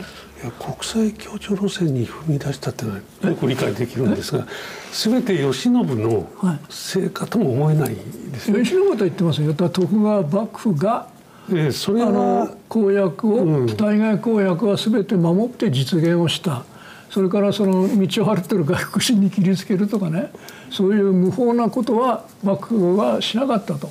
そういうことがあれだというふうに生麦事件だけ取り上げればですね、はい、例えばイギリスのメディアはイギリスのメディアは当時、はいはいはい、それはこういう日本の一つのなんて言うんでしょう武家階級の作法であってあそうそう。だイギリスはねあのイギリスのマスコミは比較的に日本に理解をしてましてこれはその日本の交通法規を守らなかったイギリス商人にあの問題があるというふうに、あのイギリスの新聞は書いておりますけども。そうですね。ただ、うん、結局なぜ植民地というのが幕末に避けられたかと。これは私は一言で言えば、うん、まあ大英帝国しかりフランスアメリカ合衆国植民地にする意思がなかったからだと思ってます。それともう一つは向こうが意思がないってことですか、はい、まあ、最近そのイギリスの資料も新しいのが出てきてプロプロイセンの資料も出てきてかなり後ですけれども蝦夷地を植民地化っていうのはドイツの方でこの間資料が出ましたよね。ですからもう一度向こう側からつまり海外からのその資料等の分析をガチャンコ突き合わせてみないとこれは何とも言えませんが一つ徳川の抜藩体制っていうものが徳川は単なるリーダーじゃないですか。つまり名手と言ってもたかだか直轄は400万石。特に800万石といっても半分は旗本御家人、うん、直参のあれに必要ですから徳川家としてはたかだか400万石。か前田家。たった一人の大一般ですけど102万石。で薩摩表高と実高が随分違う藩ですが、えー、多い年には90万石を超えるということは大体260名前後の大名がいる中であれは支配関係ではないですよね。徳川の抜藩体制っていう。うん、で石高見ても傑出してっていうその傑出度合いが他を圧して支配できる石高はないわけです経済力もつまり単なる連合体のリーダーですよ。うん、抜藩体制自体がそれぞれが独立して本当に弱々しいけど軍備していて紙幣も発行してそれ反殺でできるわけです。そういうちょっと清にもないベトナムにもないシャムにもない独特の体制なわけですね。じゃあこれ全部植民地しようかってやった時にじゃあ先ほどの下関攻めてみた。あそこは簡単に行きました。3時間で砲台占拠できた。で何日でこうなりました。これで長州はいいだろう。長門はいいかもしれない。これ47全部やるのか？今の47都道府県。いやだから全部とは言ってませんよ。いやいや。ミリオンのうちの一部のねいやいやい一部のね例えばその長州藩の端っこの一部だとかねあるいはどこの一部例えばあの中国で言えばマカオとかねそういう一部を取られちゃうってことはありえたと思いますよ。戦えばね現実にえーっと戦えばですよ。父島母島のあそことかで起きかけてますよね。それは防いでます確かに、まあ長州の彦島がね。あの咀嚼されてだから戦って負ければ植民地になるリスクは高かったと思いますよ。しかし戦わないし戦わせる攻めてこさせる理由も与えなければねそれはいくら何でも何でも攻めてくれないわけだから。ただそれ全てペリーの黒船黒船以降のあれに限ってつい私たちは論じるもともと列強の外圧なり列強の侵攻といいますかそれって露光って言われるロシアが最初ですからエトロフで銃撃戦までやってる。それから長い長いこともないですね。あれが文化文政の後ですからまあせいぜい20年とか30年経ってやっとアメリカになってきた。で黒船自体はそんなに大きな出来事ではないと私は思いまあ、ます、だから今ねお二人でその話を、ね、聞いてるのは実はやっぱり現在のことを考えながら言ってるんですよ。あのねでしっかりした体制があったからあの例えばインフラにしろ何しろね日本という国が他の植民地にされた国アジアの国に比べるとどこが違ったんだろう。今その条約をきちっと守ることもインフラ整備もできてるあのもっと言えば軍事力はどうだろうって言った言ったらその辺のとこもあってそれと彼らがあそこを植民地しないでおこうとしたのは何でだろうと。というのはやっぱりあの地盤具って言われててね昔から銀の産出とか相当その後も出てるわけですね外へ輸出っていうかいろんなことやってきたわけで。あの時点ではもう輸入の方が多かったです。ね、そうなんですよ。だからそういうことを考えるとねあの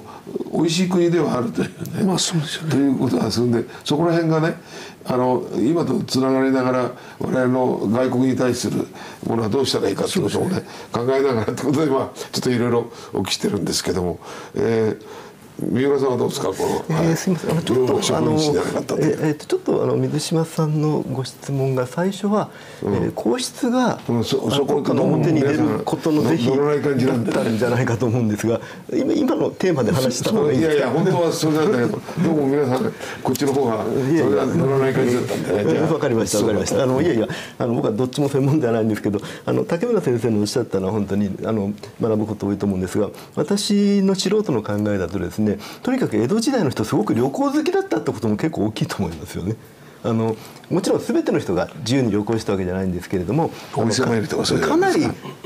あの移動していて村の一部町の一部の人が移動すればそれは必ず情報として伝わってきますからやっぱりそれはすごくあの江戸のあの文化のねあの普遍化とか活性化それと地方の文化が両方生きていたというのはなかなか誇るべきことかなという気はとてもします。まあそれがまず一つとそれに関しては私はあまり知識がないのでそれ以上のことは分かりませんが、えっ、とあとそれとあのなぜ植民地化されなかったかということですよね。あのまずこれはいろもちろんいろんな要因があると思うんですけれどもあのまあこれはあの正直言うとですね当時イギリスやアメリカやフランスが絶対的に日本を全土を植民地化しようと思っていたのを、えー我々が防いだっていうのもちょっと僕はそれは明治時代に結構作られた考えの可能性もなくはないなという気は個人的にはします。でそれはあの何もこう全てをこう植民地にすることを目的としてたわけではなくてやっぱりそこから利益を得ればいいわけですからそこのそれはまあ多分イギリスやフランスにそこまで日本全土を植民地化にしようという意識があったかどうかはちょっとわからない。ただ2つあってやっぱりあえて言えば無謀な上位戦争をするか内戦が長引けば何らかの領土の割譲は十分あり得たことだとは思いますよ。でそれを防いだのはやっぱり当時の日本人の政治的な英知だというところまでは僕は全然認めてもいいんじゃないかと思います。でやっぱりこう私が十分勉強したわけじゃないんですけどあの後におそらく皆さんからすれば否定的に捉えておられるだろう後にあの新風蓮とかそういうのを作るあの林東園という方があのまあ、作るというかその流れですねあの方はもう非常に過激な上位論者で要するにあの、まあ、はっきり言えばもう上位のための国民戦争をしなければいけないとそういう考えを持ってた人なんですけれどもえその人がそういう人でも言ってるのは仮に戦争になってもですねこれだけもうイギリスやフランスとアメリカから距離があるんだから絶対に兵糧は続かないと。そうですね、だから長期戦になれば必ず勝てるんだとそういう言い方をしてあの最初は負け軍事的には負けていっても必ず長期的には我々は勝てるという言い方をしてるんですよね。これはあの一理あるんだけどそれは国民の団結ということが前提になるわけですよ。あの長州の場合は、まあ、私は長州も立派な人いっぱい出てるんですけどやっぱりねこうあの上位するとか言ってあの程度で負けて降伏するようでやっぱり上位にならんのですよね。でそれはやっぱりあの当時板垣退助たちが絶望したのはやっぱりこうあのその時に、まあ、彼らの目から見ると長州の民衆というのは全く戦う意思というのを感じなかったと。あの武士はともかくねだからそういう点ではやっぱりこうそれこそ近代的な国民国家というのを作っていかない限りはねやっぱりこうそれはどっかで江戸時代の美風を失うことではあるんだけれどもやはりこのこれからの歴史の中で独立国としてやっていけないと。そういう意識はやっぱとても強かったしその時には私はやっぱりですねそれまでの将軍への忠誠とか各大名への忠誠っていうのを一旦チャラにしてチャラなくさなくてもいいんだけど一旦整理してそれを一つの国民の統合のシンボルを作らなくちゃいけないんだからそれは日本においては皇室しかありえないわけですよ。だからそういう近代的な国民国家を作り上げるためにはですねそれはあの皇室以外存在がなかったんであの時期は皇室が歴史の表に出てそして国民を統合する以外僕は選択肢は全くなかったと思います。でそういう点ではあのこう、まあ、兼務の中高とかいうとまた話がちょっとまた微妙な問題になってくると思うんですけどまあ、あの私もあの兼務の中古というのもおそらくあれは現行の後の社会的混乱の中でですねやっぱりもう一回あの国民のあ、まあ、少なくとも武士団であれ何であれこうそれぞれバラバラになってしまった価値観のと社会の混乱の中でやはり求められてた面というのは当然あったと思いますしそういう点ではあの明治維新というのがねやはりもう一度あのさまああの王政復興という言い方もあると思うんですがそれはまあ復興という言葉で復古という形でないと日本においては国民的な統一ができないそういう時にはやはり皇室が絶対必要だったんだろうと、まあ、そういうふうには思います。まあ、あの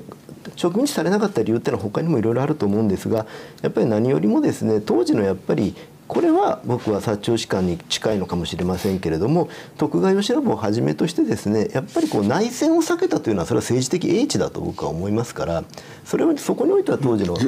みません、はい、内戦を避けたっていうのは戊辰とかそういうのじゃなくて？戊辰戦争とかは確かに内戦ですけれども、うん、あの徳川幕府とそれから薩長があそこであのそれこそ幕府と薩長が徹底抗戦した場合はかなりの内戦が予想されたわけですよあの時は。それをやはり政治的英知で下げたというのは江戸でということそれはやっぱり僕は大きかったと思います。そのその場合はやはり、うん、あの、ね、私も感情論的にはですねあのあそこで徳川慶喜に戦ってほしかったというのはなくはないですけれどもただ それは感情論の問題であのそれを避けたことはやっぱり日本にとって救いだったと僕は思います、ね、確かにあの最近イギリスから出てきた初めての資料ということらしいんですけれどもまあ、これはイギリスはぜひやってほしかったっていうことで、まあ何としてもイギリスのこれ伝統的なやり方ですけれども、えー、薩長側、政権に反対する側これを勝たせなきゃいけないっていうそういうことで、まあ、ハリー・パークスはかなり動き回ってたっていう、これはその資料が果たしてどこまで他の資料と整合性があるのかちょっとそこは私まだ何とも自信を持って申し上げられないですけど、あ。のその資料がはっきりこういう形でありますよっていうのは、あの NHK が紹介しました。ですからそこの辺りもやはり植民地化っていうのは多分ちょっと違うと思うんですけど、うん、どうやったら自分たちにとってメリットのある政権ができるかっていうことですね大英帝国の場合は。それをうまく避けたっていう、そういう意味になってます、それはあれですかイギリス外務省の文書ですか？それ誰かの書簡書簡ですか？外務省です。外務省。なるほど、えー、とあごめんなさい。外務省のな日本で言えばどういうんでしょうかね。外郭団体のような、うん、いわゆるシンクタンクみたいな感じですか？イメージ感じだった記憶ありますけどね、うんまあ、あの本当にそれ非常に大事なの実は私いつも今の日本とつな考えながらねあの海外がどういう形で我々の国が今ご存知のように北海道の北半分はもうロシアのものだとかね言い出してるアイヌアイヌの人たちによってあそこは蝦夷地と言われるのはもともと日本じゃないと。日本の文科省がなぜか日本の地図からあの明治から以降でないとっていうまあ嘘ついてるんですけどあの北海道を分離させようとしてるとかいろんな流れの中で今あの歴史がねこう歪められてるというかあの変えられようとしてるんでねあの、まあ、そういう意味でのことで今言ったそのなぜ我々が植民地というか、まあ、アメリカの属国であることは間違いないと思うけどあのその後のねあの主権国家として我々が保っていくとかあのやるのは一体何だろうっていうのはちょっと今日明治の話をしながらそれをイメージしながらちょっと聞いてあの、まあ、考えたいと思ってたんで。そういう意味では幕末より今の方がよっぽど危険だと思います、ね、ということもありましてね。まあ。よっぽど危険だと思います。も茂木さんはどうですか？このなぜ植民地になるのか、今のお話で思い出したのはですね、あの同じ時期にベトナムがですね、フランスにやられるんですけどもベトナムはですねちょうどあの王様が亡くなってですねで2人の王子が後目争いやるんですよ、それで一方がフランスと加担してですねで、ああんたを王にするからフランス軍の駐留認めろっていうことで、まあ、結局報告になっちゃうっていう話とか、あとは当時のあの新国ですね。で新国はあの有名なアインセットの後であの、大英帝国の乱が起こってですね、うん、であれでぐたぐたになってしまったところにまたイギリスフランスが攻め込んできてで、まあ、結局あの、うん、反植民地っていうことでうん、でそういう例がまあ、インドなんかも典型的ともだからそういう意味で日本があの状況で大規模な内戦を止めたっていうのは僕はあの吉信さんの功績。だと思ってます。もし吉村さんがあの榎本艦隊に乗っかってですね、伊豆島で逃げてですね抵抗していたらこれは必ず英仏が介入してきたと思いますので、まあそこは残念でしたけどもあのいや立派なご決断だったというふうに思います。で先ほどからその植民地になぜならなかったのかっていう話が出てますのでちょっと整理しますね。はい、であのいわゆる列強がですね世界をこう景気を分けるように分割するっていうのは1870年代以降になります。でまだ維新の時はその前の段階で、うん、っていうのはですねあのイギリスのほぼ独り勝ちだったわけです。産業革命でそうするとイギリスはですね別にあの領土を支配しなくても貿易だけできればいいんですよ。国を開かせて関税を下げれば利益は上がるので、であのこの図はですねこの大英帝国っていうとここですね。これがそのイギリスの直接占領していた地域です。エジプトインドアフリカ国々ビルママレーオーストラリア。でこれがユニオンジャックの旗がひらめいていたところでその外側に形式的には独立国家なんですけれども国を開かされて関税を引き下げられてイギリス商品のマーケットにされちゃった国々があってでロシアオスマン帝国朝鮮新国日本とでこれをですね、えーと、最近ではこういうふうにですね非公式帝国と言いまして、うん、だから経済的な従属国、うん、ということだと思うんですね。それで、えー、これに抗うためにはまず国内を一個にまとめなければいけないと内戦やってる場合じゃないと、うん、それから地方分権ではダメであの各地方政府が、えー、関税されちゃダメなので統一的な中央政府が関税をコントロールすることは絶対必要なんですね。うん、でその意味でこの、えーと、1860年代頃に、えー、非常に地方分権的なあの国家がヒュッと一個にまとまったっていう例が4つあるんですよ。でそれがえー、ドイツとイタリアと日本とアメリカなんですね。うん、えでいずれもこれに成功したことによって中央主義国家を作って、えーと、イギリスの非公式帝国からこう抜け出ることができたというふうにこれが明治維新の世界史的な意味なんです。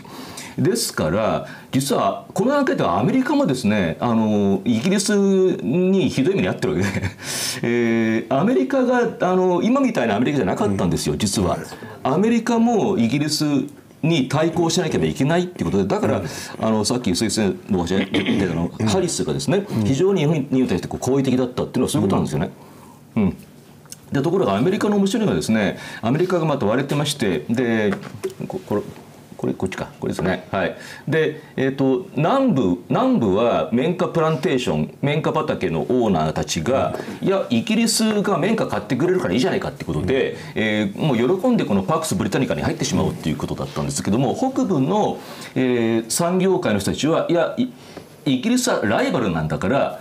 もうここで関税でブロックしなきゃいけないっていうことで、アメリカ国内が揉めて結局それが南北戦争になっちゃったと。ですから、えーと、アメリカ南北戦争と日本の明治維新っていうのは実は同じことなんですよ、うん、このパックス・ブリタニカにどう抵抗するかって話だったんで、うん、そういう視点をぜひあのモーガン先生にお話を聞きたいと思いましたその通りです。はい。大賛成です。今あのなぜ植民地化されなかったかっていうか、うん、っていうあのご質問があったかと思いますけれども私の頭の中ではいろんな植民地化パターンがあるなと思っていまして、まあ、思想思想的な植民地化パターンもありまして、まあ、例えば西天音とかあの他の、まあ、明治維新幕末明治維新の時の方々はかなり西洋の思想を学んで、まあ、ある意味で頭の中から植民地化されたっていうことも言えるかもしれないですけれども今あの茂木先生がおっしゃった通りえーと、植民地化されなかったもう一つの大きな理由はアメリカとイギリスがその時にその通り、まあ、貿易で勝負するパターンもありますので、まあ、アメリカがイギリスからの植民地のリスクから、まあ、脱したばっかりっていう状況でまだかなり弱かったんですよ。弱い国として日本まで行って日本とまあいい関係が築けばイギリスをブロックできるっていうのが一つの大きなあの目的だったと思います。でもやっぱり日本国内から考えても私の意見はなぜ植民地化されなかったかっていうと、うん、まあこれは非啓蒙主義的な考え方かもしれないですがロマロマンチック的な考え方皇室があったから植民地化されなかったまあ、神々に守れた守られたっていうのもあったんじゃないかと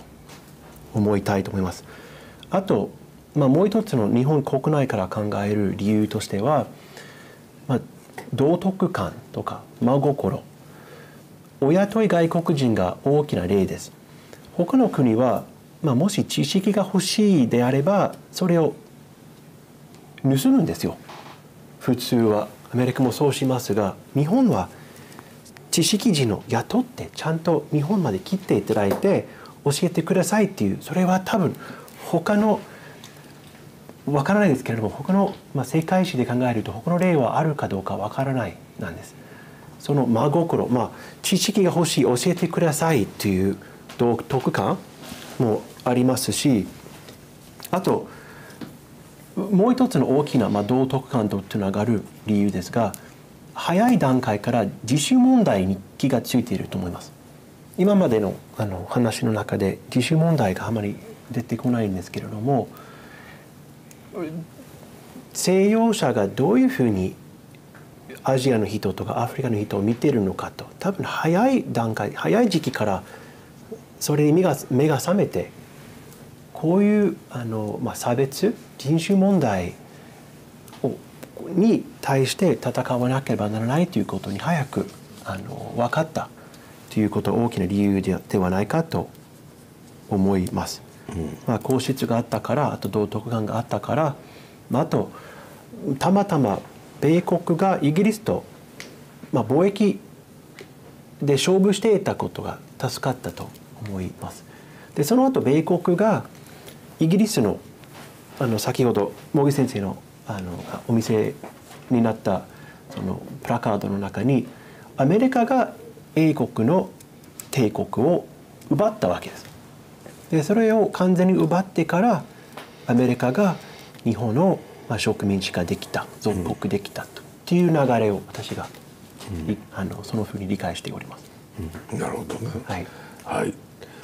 最後によろしいですか？はい。で、えっと。まあ、なぜか侵略されなかったかというとちょっともうちょっとだけですね幕末も含めてあの歴史を長いスパンで見てみたいんですけどやっぱりその歴史的な抑止力っていうのがねあの無視できないと思いまして例えば13世紀にあのモンゴル帝国が全盛期だった時にもうヨーロッパのどの国もかなわなかった束になってもかなわなかったモンゴル帝国の軍をまあもちろん地理的な要因海を挟んだというねそういうのもあるとはいえまあ完全撃退したわけですよね日本は。でさらにその後食放棄と言われますけど織田信長豊臣秀吉の時代あの時代もこれはもう今の教科書は全く書かないわけですけれども当時のヨーロッパが持っていた鉄砲をはるかに上回る鉄砲を日本が織田信長の下でそして秀吉の下で保有した。そしてあの、まあ、西洋列強も一目置いていた、まあ、あの明帝国中国中華帝国ですね、えー、それとあの、まあ、いわゆる文禄慶長の駅で戦った時にもう何倍何十倍ものあの朝鮮軍中国軍をあの加藤清正とかあの島津軍がですねあっという間に破ってしまうわけですよ。でこれを、まあ、あの直接間接に、えー、宣教師たちが、まあ、報告してるわけですよね。その本国に。でそういう中であ日本というのはやっぱりちょっとなかなかあの攻め落とせないような手強い国だということが、まあ、実は昔から語られててもちろんそれが19世紀のあの幕末に直結したかどうかは議論の余地があるんですが決して日本はなんかこう西洋列強が幕末にふらっとやってきてあこんな国があったんだなんていうあのなんかニューカマーではなかったというのと。でもう一つ最後に、えっと、でその時にもう一つであのここでやっぱり長州士官なのかそうじゃないのかとかいう話でよく分かれるその靖国神社の存在ですよね。靖国神社を考える時にやっぱりどうしても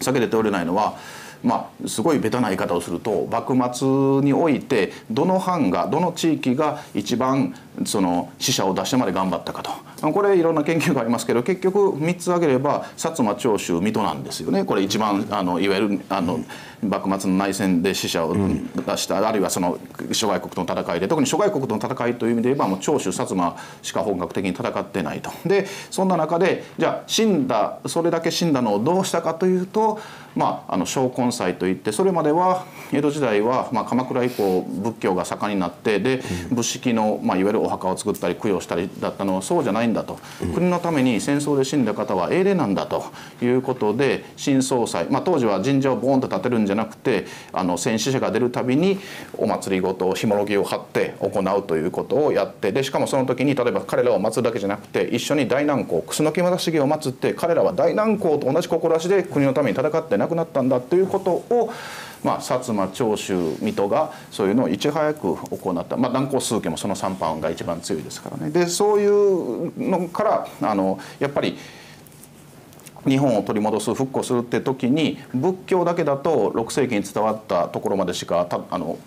まあ遡れないけれども神道はもう建国以来、まあ、もっと言えばもう建国より前からずっと日本は神道というのが染みついてますからそこまで戻ってそういう国柄を取り戻す。そしてあの国のためにあの死ぬとはどういうことかあるいは国のために必死に戦うとはどういうことかっていうのが、まあ、あのもう一回呼び起こされたことで幕末あれだ、まあ、これは別にあのいわゆる幕府側もそうです。あの別に今申し上げたのはあのいわゆる倒幕側だけじゃなくて幕府側だって同じように将軍祭とかもやってますのでね。だからそういう中で日本を取り戻したっていうのが大変大きな。でそれがあの、まあ、いろいろなんか祀られるあのご祭神についてはいろいろ議論はあるんですがやっぱり靖国神社で結実していく。でそこのところを例えばあの2年前に出たこれがねあの、まあ、ベストセラーになって大変あの面白い本だと思うんですけどここにね靖国神社出てこないんですよ だから明治維新の議論で結構そこはスポッとね有名な学者方の議論でも結構抜けてるのかなという気がして、まあ、ちょっと今一言申し添えました。なるほどね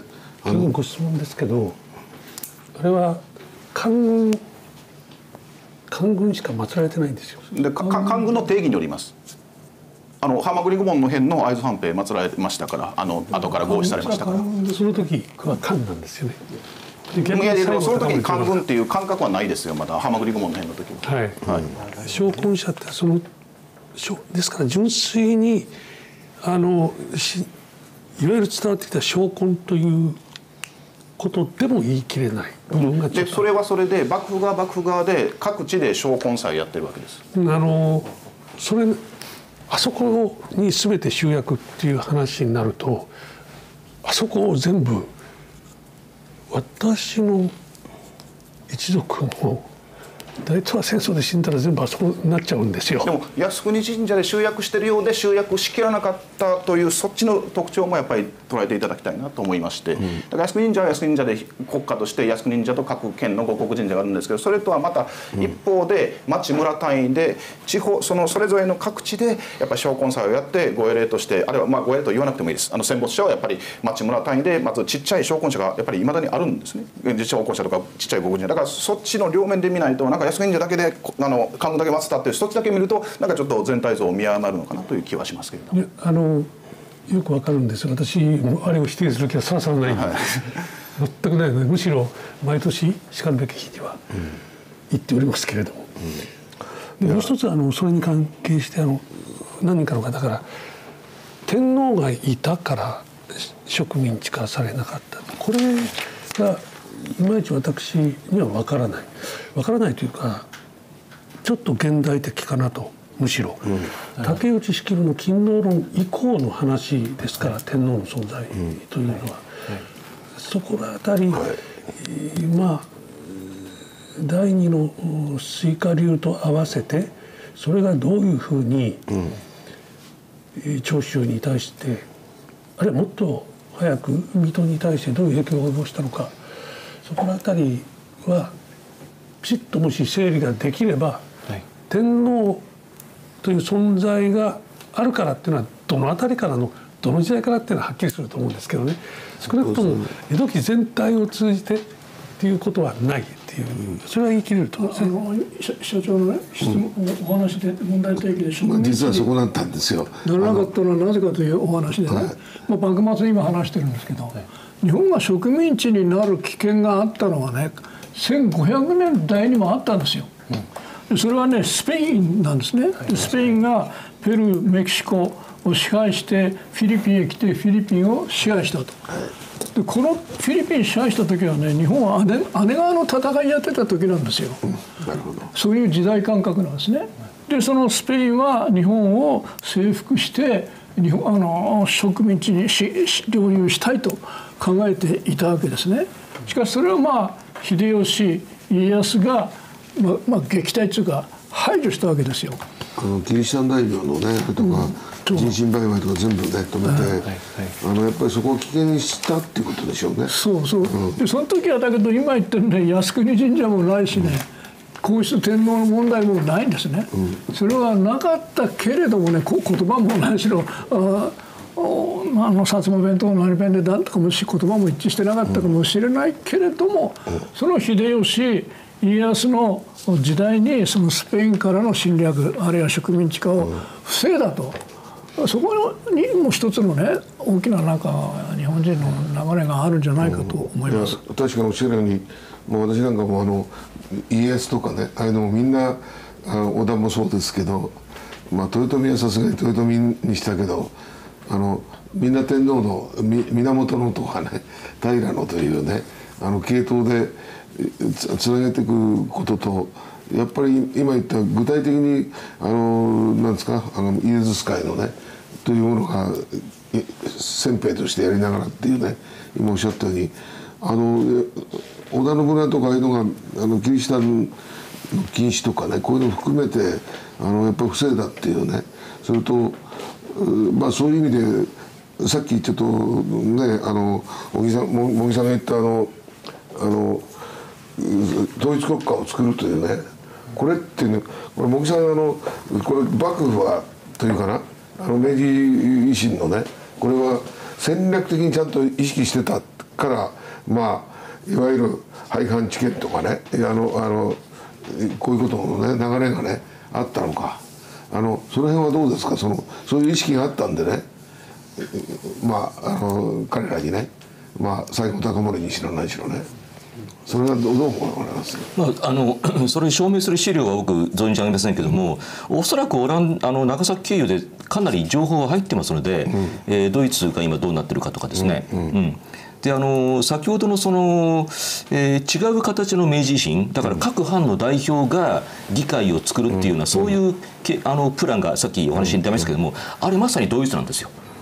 うん、ビスマルクのやったドイツドイツの,、あの議会っていうのは、えーと、上院会議があってその上院っていうのはもともとドイツにあった国々の代表なんですよね。えー、でずっとその、えーと、第一次大戦で負けるまでドイツにはその各地の王様たちがいたわけですからこれ日本で言ったら藩主がいたわけですね。うん、そういうことなんで、えー、ちょっとそれがもしうまくいってたらまた違った日本の近代っていうのがあったろうなって僕は今思っています。うんそうですね、えー、まああの、まあ、先ほど言った今ちょっと天皇の話出ましたけどあのどこまで、まあ、兼務の中高は、まあ、少なくとも、まあ、我々が読む限り後醍醐天皇というのがねものすごいその主役というかなあのいう形で行ってあの、まあ、やったと。あとそれに中心たちがという感じだった。あのイメージなんですけど。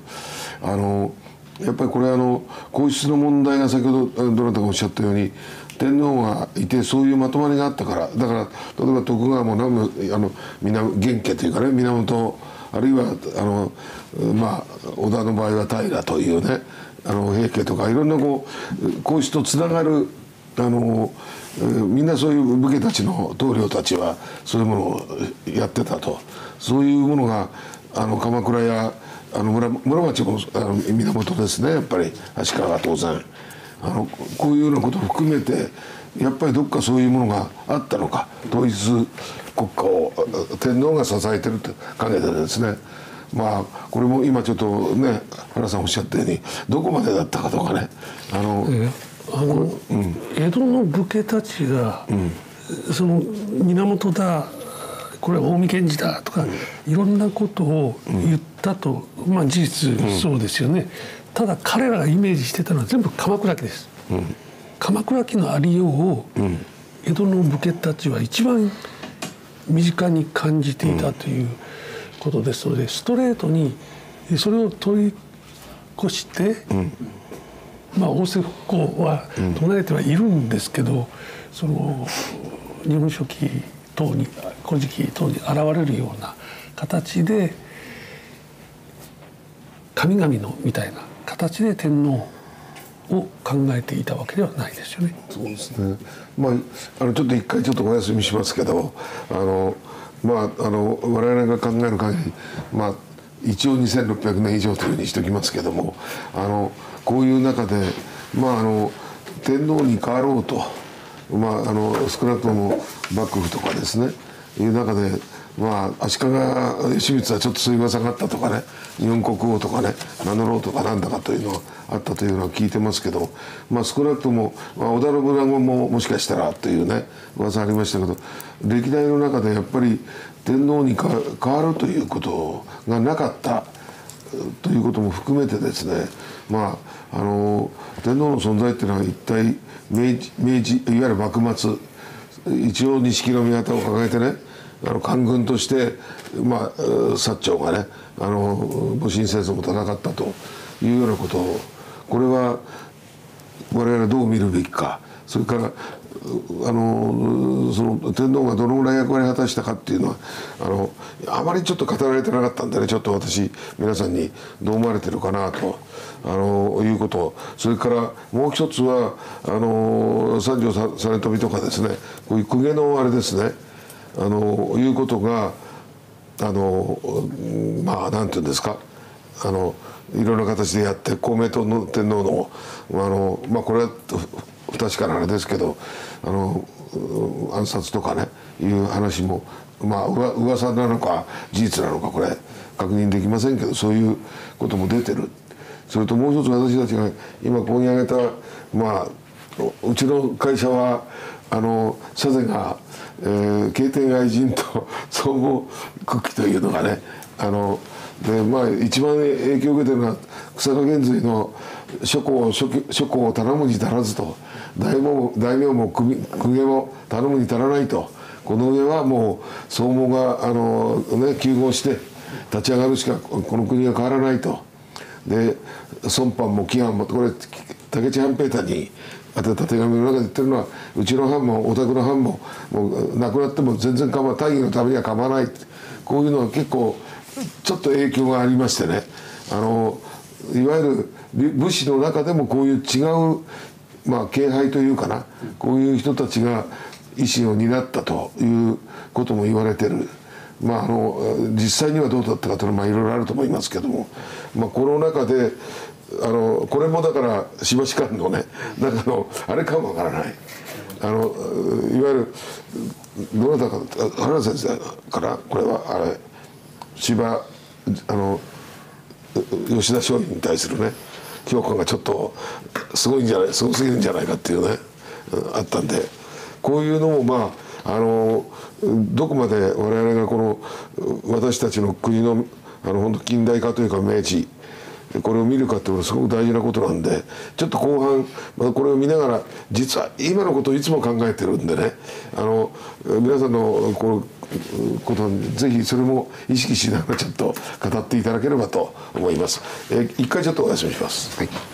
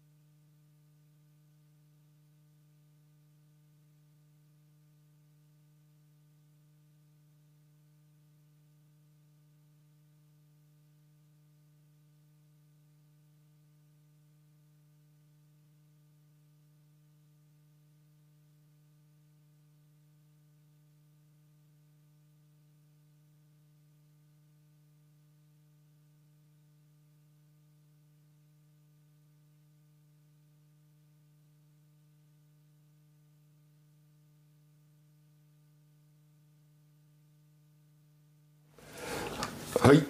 えー後半になりました、まあ、あの日本が植民地になぜならなかった、えーいうことと同時に、まあ、今現代につながるというのは明治維新から始まった、えーこの日本の近代日本。えーこれが大東亜戦争へ行って、まあえー日米戦争の中で敗北することになる。そして戦後77年、えーこういうことになるんですけどもあのまあ簡単に言うとですね、えー安倍元首相暗殺されました安倍さんが、まあ、これは私なんか相当ショックを受けたあの70年談話というのがアメリカ行ってありました。えー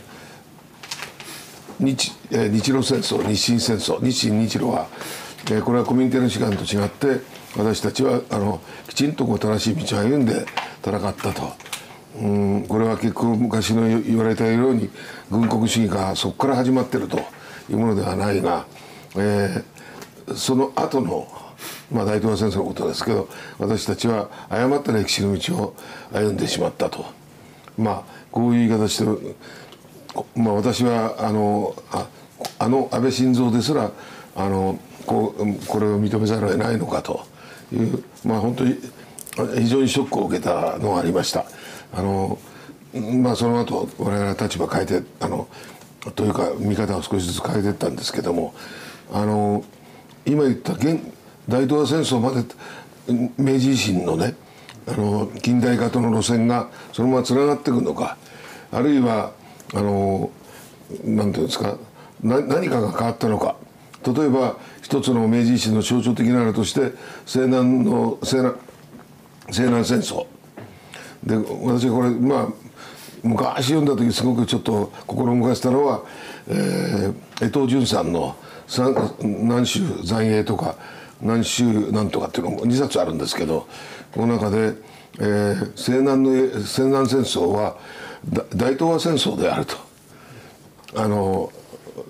結局大東亜戦争は世界に対する西南の西南戦争であるという、まあ、表現はもう私江藤さんあんまりちょっとそれほどじゃないんだけどこれだけはすげえこと言ったなと思った時がありました。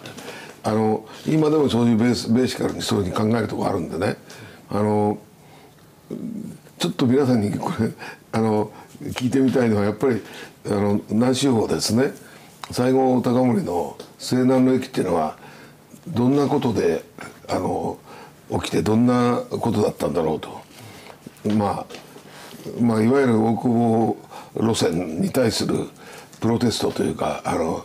いわゆるあの幕府的な江戸時代的な人侍階級のまあプロテストとかいろんな言い方をする人がいます。さああのこの問題っていうのは絶えず私たちの中でもあの日本というものを取り戻すというふうに言われてる中で何を取り戻すのかっていうあの何が争われたのかということをすごく問われると思いましてぜひちょっと聞きたいなと思うんですけどあの久野さんはどうですか？そのまあそっちからちょっと今日は今回はねあの西郷隆盛っていうかね、はい、南州っていうのは西南の駅ってのはどんな感じで見てますか？あまああの西郷南州自身は、まあ、あのいろんな評価の違いありますけど、まあ一言で言えば、まあ、立派な人物なんですが、うん、ただあのなんかね西郷隆盛論もあるいは大久保利通論もどうしてもですね、うん、西郷はこうだったあるいは大久保はこうだったっていう、うん、なんかこう定点あのなんていうのかな、えっと、ある一点だけでこう、あの評価するんですけども彼らも人間ですからですねまあ私ごときが成長するというとあれですけれどもやっぱりあの時代によって変わるわけですよね、うん、だからそれはあの薩摩の状況に応じて変わるあるいは日本の国際関係に応じて変わるいろんな変化があったと思うんですけれども。であのその変化を象徴するのが大久保利通。でその変わらなかった分をある意味では象徴するのが、うん、あの西郷隆盛なんじゃないかなと私は思ってまして。ただその変変化しなかった不益の部分を、まあ、2人ともが共有しているところもありまして、まああのそうですね。例えばさっき大南湖の話もしましたけれども、まあ、たただ単純に国の側に立ったか国にあの立てついたかっていうあの対立構造ではなくてさっきも申し上げた通りあり長州藩や水戸藩と同じく薩摩藩はあの、まあ、楠木正成こう仰ぐ精神が強かったわけですけれどもこれ同じ薩摩藩のあの松方正義があの今の大分県の一部にあたる日田日田県というところで、ね、日田県知事をやってたんですけれどもその時にあの日野熊神社という昔後醍醐天皇と楠木正成を一緒にお祭りする神社が、まあ、あったのそれが荒廃してたまあ、まあ仏式になって荒廃したのを、まあ、神式に信者として復興するわけですけれども、うん、その時に、まあ、あの西郷隆盛と大久保利通2人があの記号をあの奉納してるんですよね。あの大南光のあ、まあ、五代五年の大南光を祀る神社のために。だからそういう意味で言えば本来の精神的なところは、まあ、別にいやそれは頼まれたから書いただけだって言われたらそれまでなんですけれども大変共通するとこはあったんですがただそれが現実の政治に現れた時にやっぱりあの大久保利通と西郷隆盛で実際の政策論として違いが出てきてしまった、でもこれはまさに彼らが仰いだ大南光もそうですよね。あの大南光は最後あの後醍醐天皇の前の病儀の中で、うん、まあ足利軍が大軍で攻めてくるのを迎え撃つためには戦略的に最上の策としては、えー、後醍醐天皇に比叡山にお移りいただいてそれで足利軍を守りにくい京都にこう入れてからその後包囲殲滅すべきだと言ったわけですけれどもしかしそれをあの後醍醐天皇まあ、あるいは太平記では拷問清忠の口を借りて、まあ、それはダメだということを言っててあれ難攻ファンの方は結構なんかあの大難攻がせっかく素晴らしい作戦を提案してるのにそれを蹴った後醍醐天皇はっていうちょっとそそういう言い方をする人いるんですけどそうあれそうあのそんな単純な問題じゃなくて結局戦略的には大難攻の策が最高なんでしょうけれどもしかしあのでそれによって足利軍を蹴散らしたところで天皇陛下が京都に戻って後醍醐天皇が京都に戻ってきたのがまた比叡山に逃れたとか吉野に逃れたってなると人心が離れてしまうと。あの皇室とあの日本人の間に溝ができてしまってこれがもう足利尊氏をやっつけること以上のリスクは生じるというのがおそらくは後醍醐天皇の近江心だったんじゃないか。ということを例えばちょっと投影するとですね大久保利通とあの西郷隆盛の間でもそそういうふうな齟齬があってまああのまあ、国際社会で伸長するあのちょっと勢力を拡大するだけだったら西郷隆盛をポーンとあの朝鮮に派遣するというのは一つの上策だったかもしれないけれどもいやそれではダメだという一つのリアリズムというか国家統治としての観点からの大久保利通との葛藤とかね。その辺りをもうちょっとねなんかこうあの、まあ、私自身は明治時代が専門ではないですがやっぱりもしそういうところで議論を求められたとしたらその辺りをもうちょっと掘り下げてあの丁寧に議論したいなと思ってるんですけれども。いやあの、あの一つはまああの幕末の最後の内戦というのかな。あの国内での最大のまあまあいろいろ2色とかそういうクーデター的なものはあったけどもあの近代化した明治維新以来ね最大の国内内戦あの戊辰戦争もその前にありましたけどこれによって大体大きな国内内戦が終わった。で一体これ何だったんだろうと。あのまあ明治維新の代表的なね人物のあの西郷大久保も含めてですねちょっとそういうのがありましてねあの最大の内戦が終わって、まあ、それまでいろいろちょこちょこあったんだけどいろいろちょこちょこっつったら失礼なことやった人に。あのここの辺がどうなんだろうっていうのはちょっとあってねモガンさんこれど例えばどんなふうに見ますか、うん、西郷隆盛先ほどあの久野先生のお話の中楠木正成っていう名前が出たかと思いますが実はあのこの番組に誘ってくださった時から幕末明治維新の一番重要な人物は誰かと思ってたんですけれども楠木正成じゃないかと思って600年前の人ですけれどもやっぱり楠木正成の存在が極めて大きいなと思って。で最近読み終わった本もかなり私のまあ、思想を左右しているんですが、えーと、片山森秀という方が書いた皇室に関する、まあ、その皇室論皇室の思想に関する、えーと、新書を最近読んだんですが。広告士官そうそうそうです。はいはいありがとうございます。であの水戸学とかがよくあの説明されている本ですけれどもやっぱり皇室って天皇って多分2つの見方はあるんじゃないかと。思って、まあ、ロマンチック的なそれから現実的。で大久保利通はもちろん現実的、まあ、それは多分ちょっとクーデターという意味があったかと思いますが西郷隆盛は感情的で言うと西郷隆盛が大好きですよ。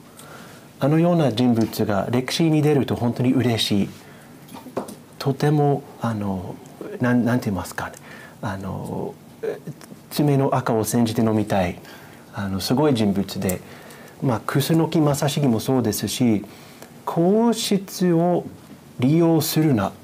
皇室にあの従うという多分強い意志を持っていたんじゃないかと思う西郷隆盛ですね。ね。あのクーデターとかやっちゃいけないあのそのようなあの政治的な利用をやっちゃいけないと。まあロマンチック的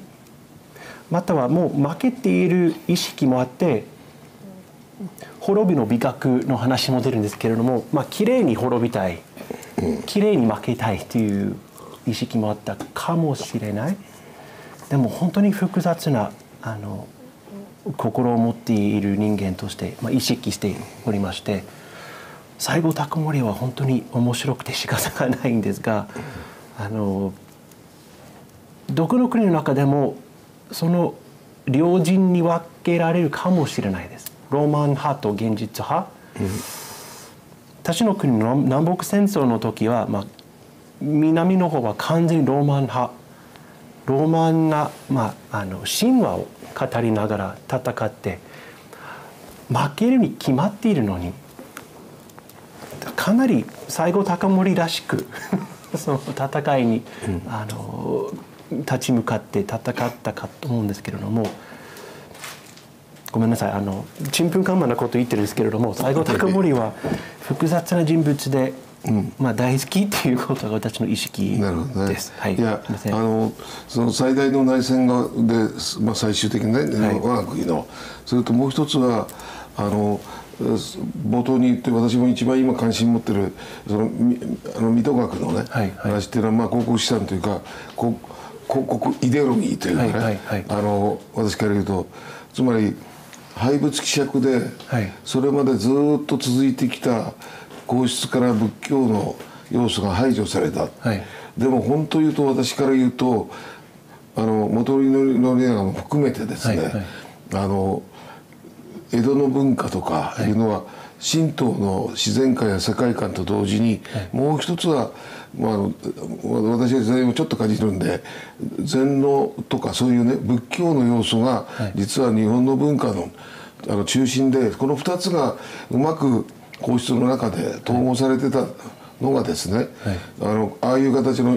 いわゆる神道というものはもっと穏やかで緩やかで幅広い。あのあのゆったりしたね。懐の深い世界観だと思うのがそれが仏教的な哲学的なね、はい。支えの中で日本の文化ができたんだけど結局いいわゆる広告イデオロギーの中で、はい。それが排除された、はい。っていうのはわ私は実は大久保と西郷の問題は結構深刻なはい。日本の近代の選び方で、はい。あの単にまあまあここう言っちゃ失礼な言い方かもしれないけどロマン主義とかね、はい。あの封建時代のあの侍の精神を残したいとか、はい。はいもちろんそういうのあると思うんだけど、はい。ももっとその仏教というものをあの皇室というか日本の国の中からね、はい。消し去ったあこれが大東亜戦争までつながっていく天皇が荒人神になってね、はい。あというこういうような形の流れの中であの、まあ、いわゆる国士というか、平田篤太をはじめとしてね、はい。こういう人たちの流れが実はそのその中にも生きてるんじゃないかってちょっとありましてね、あのあの本当私はあのやっぱりそれは大きな明治維新の文化的な意味で大変なことだろうと実は思ってまして、はい。まあ、そういう意味での、えー形が実は大久保とね、はい。えー最後の戦い同じ明治維新を担った人間の、はい。境目っていうか分かれ目だったんじゃないかと、あのそれと大東亜戦争に対しても私はさっき江藤さんじゃないけども、はい。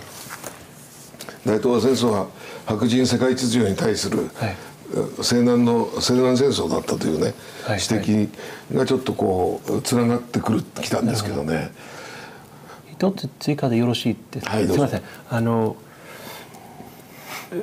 片山森秀先生のご本の中で、まあ、非常にきれいに説明されているんですが、多分片山先生のご意見は、まあ、イデオロギー水戸学は、まあ、単なるイデオロギーではないかって多分、まあそうですね。それはおいやお考えになっていると思います。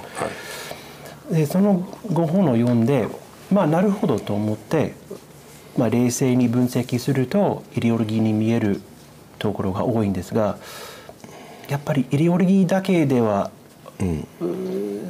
済まないなと思って、いつの時代の中に、私のような人間って言っておかしいですが、ただのイデオロギーではないと思って、例えばあの北畠近房とかあのような人も、まあ、単なる皇室イデオロギーを作り出していると思っている人間もいるかもしれないん。ですがいやでもそう簡単片付けることはできないなと思って、いや全くその通りだと思います。そのまあ高いもあるじゃないかと、もしそう信じているのであればイデオロギーだけではないなと、とても大切なだから本当にイデオロギーがないのは私はあのいつも時々えー利用するのは村上一郎さんがね、はい。日本日本の兵隊がなぜあの世界最強と言われたか、はい。これあの勝って泣きわあの負けて泣きね、はい。あのな泣く人たちだった、はい。まあ、それでう歌心があった。はい。あのつまりあのう戦友という学軍歌をあの、まあ、東条英機、えー首相がね、はい。めめしいと、ドイツ式の、まあ、ビスマルクから始まった鉄血政治と軍隊のこういう思いで、あのこんな「ここは国の何百里」っていうねああいう歌を、まあ、禁止したっていうんだけど、そこの差のねはい。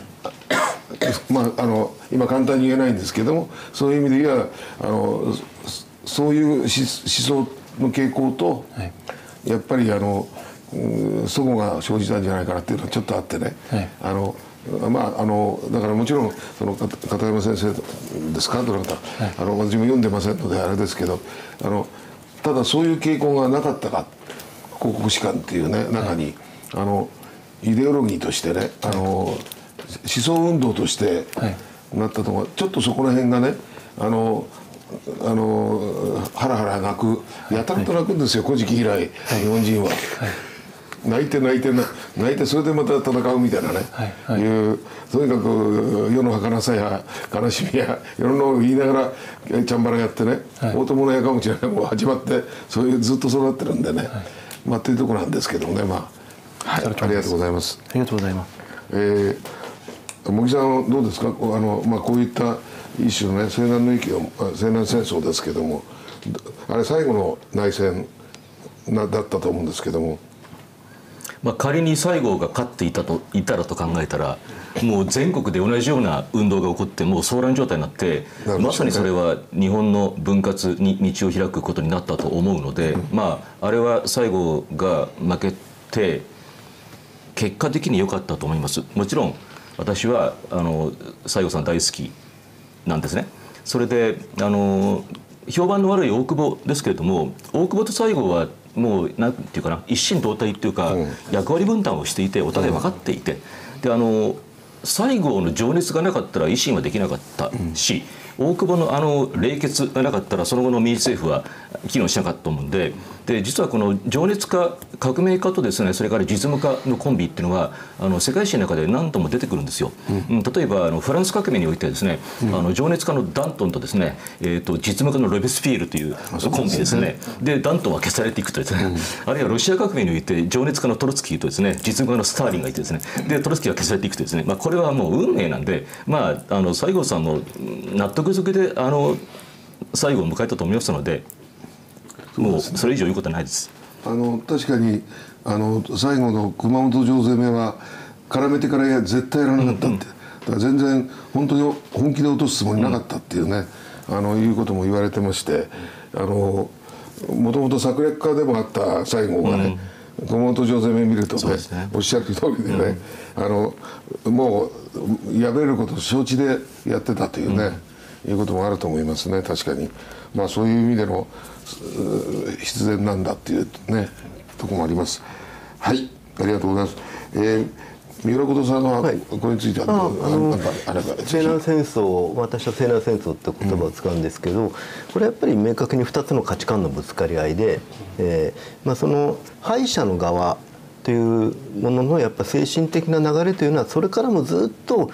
あの、まあ、現代に至るまでですねおそらく日本人の意識の根底の中にあるあのあの西洋近代というものに対するある種のまあそれを 否定するのではなくてねそれを受け入れざるを得ない中でそれに対してどう抵抗の砦を築くかという点においては今でも消えてないものだと思いますね。西郷隆盛というのはもうそのシンボルです。で同時にやはりあの西南戦争だけに限って話を言えばですねあそこで西郷軍に参加した人たちというのはもちろんかつての特権を求めた武士勢力も入ってますけどそこであの中には宮崎八郎まあ有名な話ですけどねあの最もラディカルな民権論者も入ってるわけなんですよね。そしてまた同時にあの現実的なあの戦略的な合流はできなかったけれども当時の近代の始まりの中でかなりこそそれ江戸時代の一気にはありえなかったほどのですね農民の決起が反乱が起きてるわけですよ。それやっぱ一つは、まあ、もちろん税を取られることもう一つはあのこれあの今の進歩的な学者が言いたくないんですけど反学校一揆ですよね。学校に子供を取られるもう一つはあと、まあ、徴兵反対ですよねもう一つこれもあの、まあ、これに関して僕はちょっとあのあ彼らしく勉強あんまり勉強しないんであんまり言っちゃいけないんだけどはっきり言うとあのいわゆる、まあ、動画地区の差別をなくしていこうということに対しても実は反乱が起きてる。でこれは何でかっていうとそれその今の目から見たらおかしなものも価値のもあのあのあるけど簡単に言ってしまうとやっぱりそれはね近代的な国民国家の中で江戸時代の伝統が壊されていくことへのやっぱりそれは国民的な反発はあったわけですよ。それはあのもしかしたらあのそこは僕十分勉強してませんけれどもあの、えーそれこそまあ、廃物希着みたいなものに対する抵抗感みたいなのもあったのかもしれないですね。また一方ではやっぱり上位を貫くべきあの維新だったのにそれが裏切られたというそういう人たちの思いもあったでしょう。だから西郷隆盛に対しては当時のありとあらゆるやっぱり大久保的な近代化国民国家僕はこれしかなかったと思いますがこれしかないのが世界日本の運命なんだけどそれをどうしても受け入れられない全ての勢力が集まったのがあの西南戦争です。でこれは敗れた戦いなんですがそれは実はですねあのき日本がどんどん近代化しある意味近代化っていうのはあの西洋化なんですよこれは必然なんですよね和光要塞とどんなに言ってもですね近代の中でやっぱり失われていくものはあるんですよ。あのこれはあのそういうもんだと僕は思いますあの、まあ、ちょっと話ずれますけど例えば日韓併合で韓国をとても豊かにしてやったじゃないかといってそこでどっか韓国人に割り切れないものがあるのはやっぱりね自分たちの文化を自分たちの力で近代化して自分たちで壊したり乗り越えたんなら仕方がないんだけどそれよその民族にやられたってことのなんか民族的屈辱感っていうのはこれは多分あるんですよね。まあちょっと余計なこと言いましたけどつまりあの西南戦争っていうのは当時の日本の行く末に対するですねありとあらゆる勢力のあの反政府的それその反政府じゃないですねあの大久保的なあのいい意味でも悪い意味でもテクノクラート的な日本を近代的な国民国家にしようとするものに対するありとあらゆる反発した勢力が集まった戦いでそのシンボルになるのはあの江藤新平ではなれないわけですよ。江藤新平っていうのはやっぱりあの、まあ、はっきり言ってしまえば優秀な人かもしれないけど大久保との権力闘争で自分がやっぱり敗れたという人西郷という人はやっぱりそれ以前の全てのそういう精神的なシンボルになれるだけの度量と人間的なスケールを持っていた人ですよね。だからこそあの方は伝説化されてそして逆に言うと明治政府はこれは僕のこれも意見ですけどなんとなくですね明治政府のやったことは西郷っていうのは偉大な英雄だったけど最後に私学校に担がれて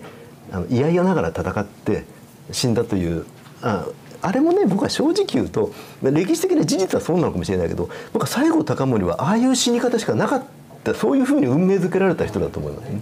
だからそれはあの人はあのそういうのを思想家ではないからそれをきちんとした文章に書いたわけじゃないけどあのそれこそこんなあの財閥とは書いてないけどこんなにこう利害関係だけで国が動くようになって母神の戦死者に自分はもう申し訳が立たないとかあるいはその文明っていうのはそんなに立派な建物を作ることじゃないじゃないかとかあるいはこうあの西洋のやってることは文明ではなくてあのこれは非常に野蛮で暴力的なものでそういう世界に日本はなっちゃいけないんだということをしきりに言っていてやっぱりあのそういう点ではですねあの西郷隆盛というのは明治維新の最大の英雄であるとともに明治維新が作り出していった近代に対する最大の抵抗者だったというものすごいそういう点では日本のあの近代をある意味両方象徴する人物なんだと思いますよね。だからあの必ずしも1点だけで評価できないし1点だけで否定もできない。これで終わりますけど司馬太郎が「あの飛ぶが如く」ってすごい長いの書きましたけどあのあれだけ書いて西郷だけは書けなかったですね。最後の周りをぐるぐる回ってるような文章であれは司馬太郎さん的な近代明治になって近代になって健康なナショナリズムでよかったけど戦後かあ戦争中おかしくなったっていう論理では絡め取れない解釈できない存在がやっぱり西郷隆盛なんですよね。だからとうとう司馬さんがあれだけ文章力のある人があれだけ資料全部読んで飛ぶが如くっていうのはやっぱり失敗作になってしまったっていうのはこれやっぱりあのなるほどなと思います。そういう点で私は西郷隆盛っていうのは本当に近代日本の扉を開くとともに近代日本に最後まで戦い続けたそういう非常に複雑な人間だと思いますね。はいまあ、だからそこのね今おっしゃることのね意味で言うとつまりそれあのまあ文美さんがおっしゃったように統一国家でなければ本当にどうしようもなかったと思うね最後だけどその中で失失われたものっていうのは何だったんだとあのいうことをあの私たちももう少しあの、まあ、抵抗勢力だと私あの三浦さんの言う通りだと思と思うんだけどじゃあそれで失ったものは何だったんだろう、うんあの単なるあのセンチメンタリズムのねあのかつての良き江戸時代のあのノスタルジーとかあのそういうものではなかったはずなんですよね。あのさっきあの大さんがおっしゃったように両輪なんでね一心同体だったのがあのいうこととまああの廃仏希釈の問題仏教とまあもう仏教伝来以来聖徳太子や聖武天皇や桓武天皇やみんな仏教とはね一体化してた日本のあの皇室の文文化っていうのがね明治維新の中でも分かれてるというこういうようなその引き裂かれた状況の中であのまあ負けた、まあ、戦争が起きたのはしょうがないけど失ったもののきっかけになってるんじゃないかというね気がちょっと私はしてそこをこれからみんな考えていかなきゃいけない問題じゃないかなと。鈴木さんどうですか？私はあの皆さんとちょっと考えが異なりましてですね、はい、え西郷と大久保を比べるならばですね、え日本の近代化を行ったのは西郷であるというふうに考えてるんですね。なるほど、うん、で日本の近代化を行う上で必要だったのは、まあ、あの大隈重信とかね、うん、あるいはその江藤新平これ佐賀の人ですけど、まあ、長崎からあの近代文化を学んでるんですね。うん、それからやっぱり何といっても幕臣なんですよ、それでその渋沢栄一でありますとかですね、これもあの海外留学しておりますし、前島秘書がこの郵便制度を作ったんですけども、彼らを思う存分に働かせてねで明治近代化を成し遂げたと、うん、これ成し遂げたものは何かというと三大、まあ、その明治の例えば教育制度。それからその、うん、徴兵制、えー、それから司法制度ですね、うん、法律裁判所。それからあの、うん、国民市民平等。それからまあキリスト教の容認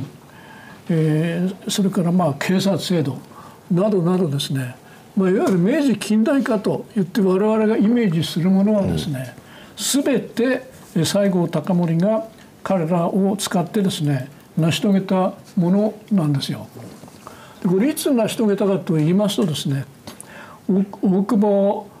とか岩倉智美がね欧米使節団ということで欧米見物に行ったんですねで2年 ,2 年間行ってたんですよ。でこの間にこの間にこの今言ったやつを全部やっちゃったんですよね。うん、要するにその大久保とか岩倉がいるとですねいろいろ口うるさくてですねこういう近代化ができないんですよ。鬼のいない間の選択っていうことでねうるせえのがいなくなっちゃったからねバッ2年間にこれ全部やっちゃったんですよ。うん、それで大久保岩倉があの帰ってきたらね外遊から帰ってきたらもう日本がもう昔と違う素晴らしい近代国家になっちゃっているんでね、うん、もう自分らは何の立場もやるないと。これはもうダメだねと。そういうことになったのでそれでその生還論論争という、まあ、あのインチキな話を仕掛けてねそれで西郷グループを追い落とした、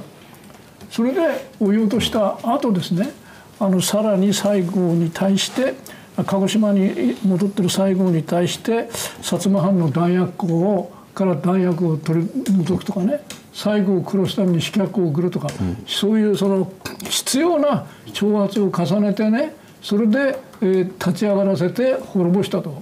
俺本当にね汚いやり方なんですよ大久保っていうのはね。大久保の汚さっていうのは西郷をはめたというね汚さと。それから最初言ったね明治維新の光と影ということであれば最大の影である戊辰戦争の立役者なんですね、うん、そういう意味で大久保利通っていうのはね単なる破壊者だってね明治近代化に何らの功績もないというふうに私は思っております。なるほど廃藩置県も高森でしたねさ最後なくして廃藩置県はできないわけですよ。廃藩置県一番反対してるのは新松の殿様ですからね。我が国の一番強い8,000人の部隊持ってるね。それが俺がもうあの外れちゃってね。でもうあこれあの鹿児島県知事が来るのかねと。一番怒ってるのは薩摩の殿様でいやいやそうは言ってもご時世でしょうがないんですって殿様を抑えたのはさ薩摩の最後なんだからそこのと最後なしに廃藩置県なんかできないわけですよ。まあ大変面白いちょっと目から鱗的な 私にそういうの聞くとねあそういうとあ確かにその2年間の欧米あ欧米っていうか欧州のねあの間でいろんなことが行われましたよね。全部やっちゃった。ね。なるほど。そういう見方うんですね。面白いですね。はい。えー、原田さんいかがですか？この西南の私はあのあんまり最後は評価してません。あの まあ一言で申し上げればその不平士族の反抗の延長線上ですね、それが一点と、うんまあその不平士族の乱の一番最初の大きいものといえば明治7年の佐賀の乱ですよね。これが西南の駅以外では一番大きいということですけども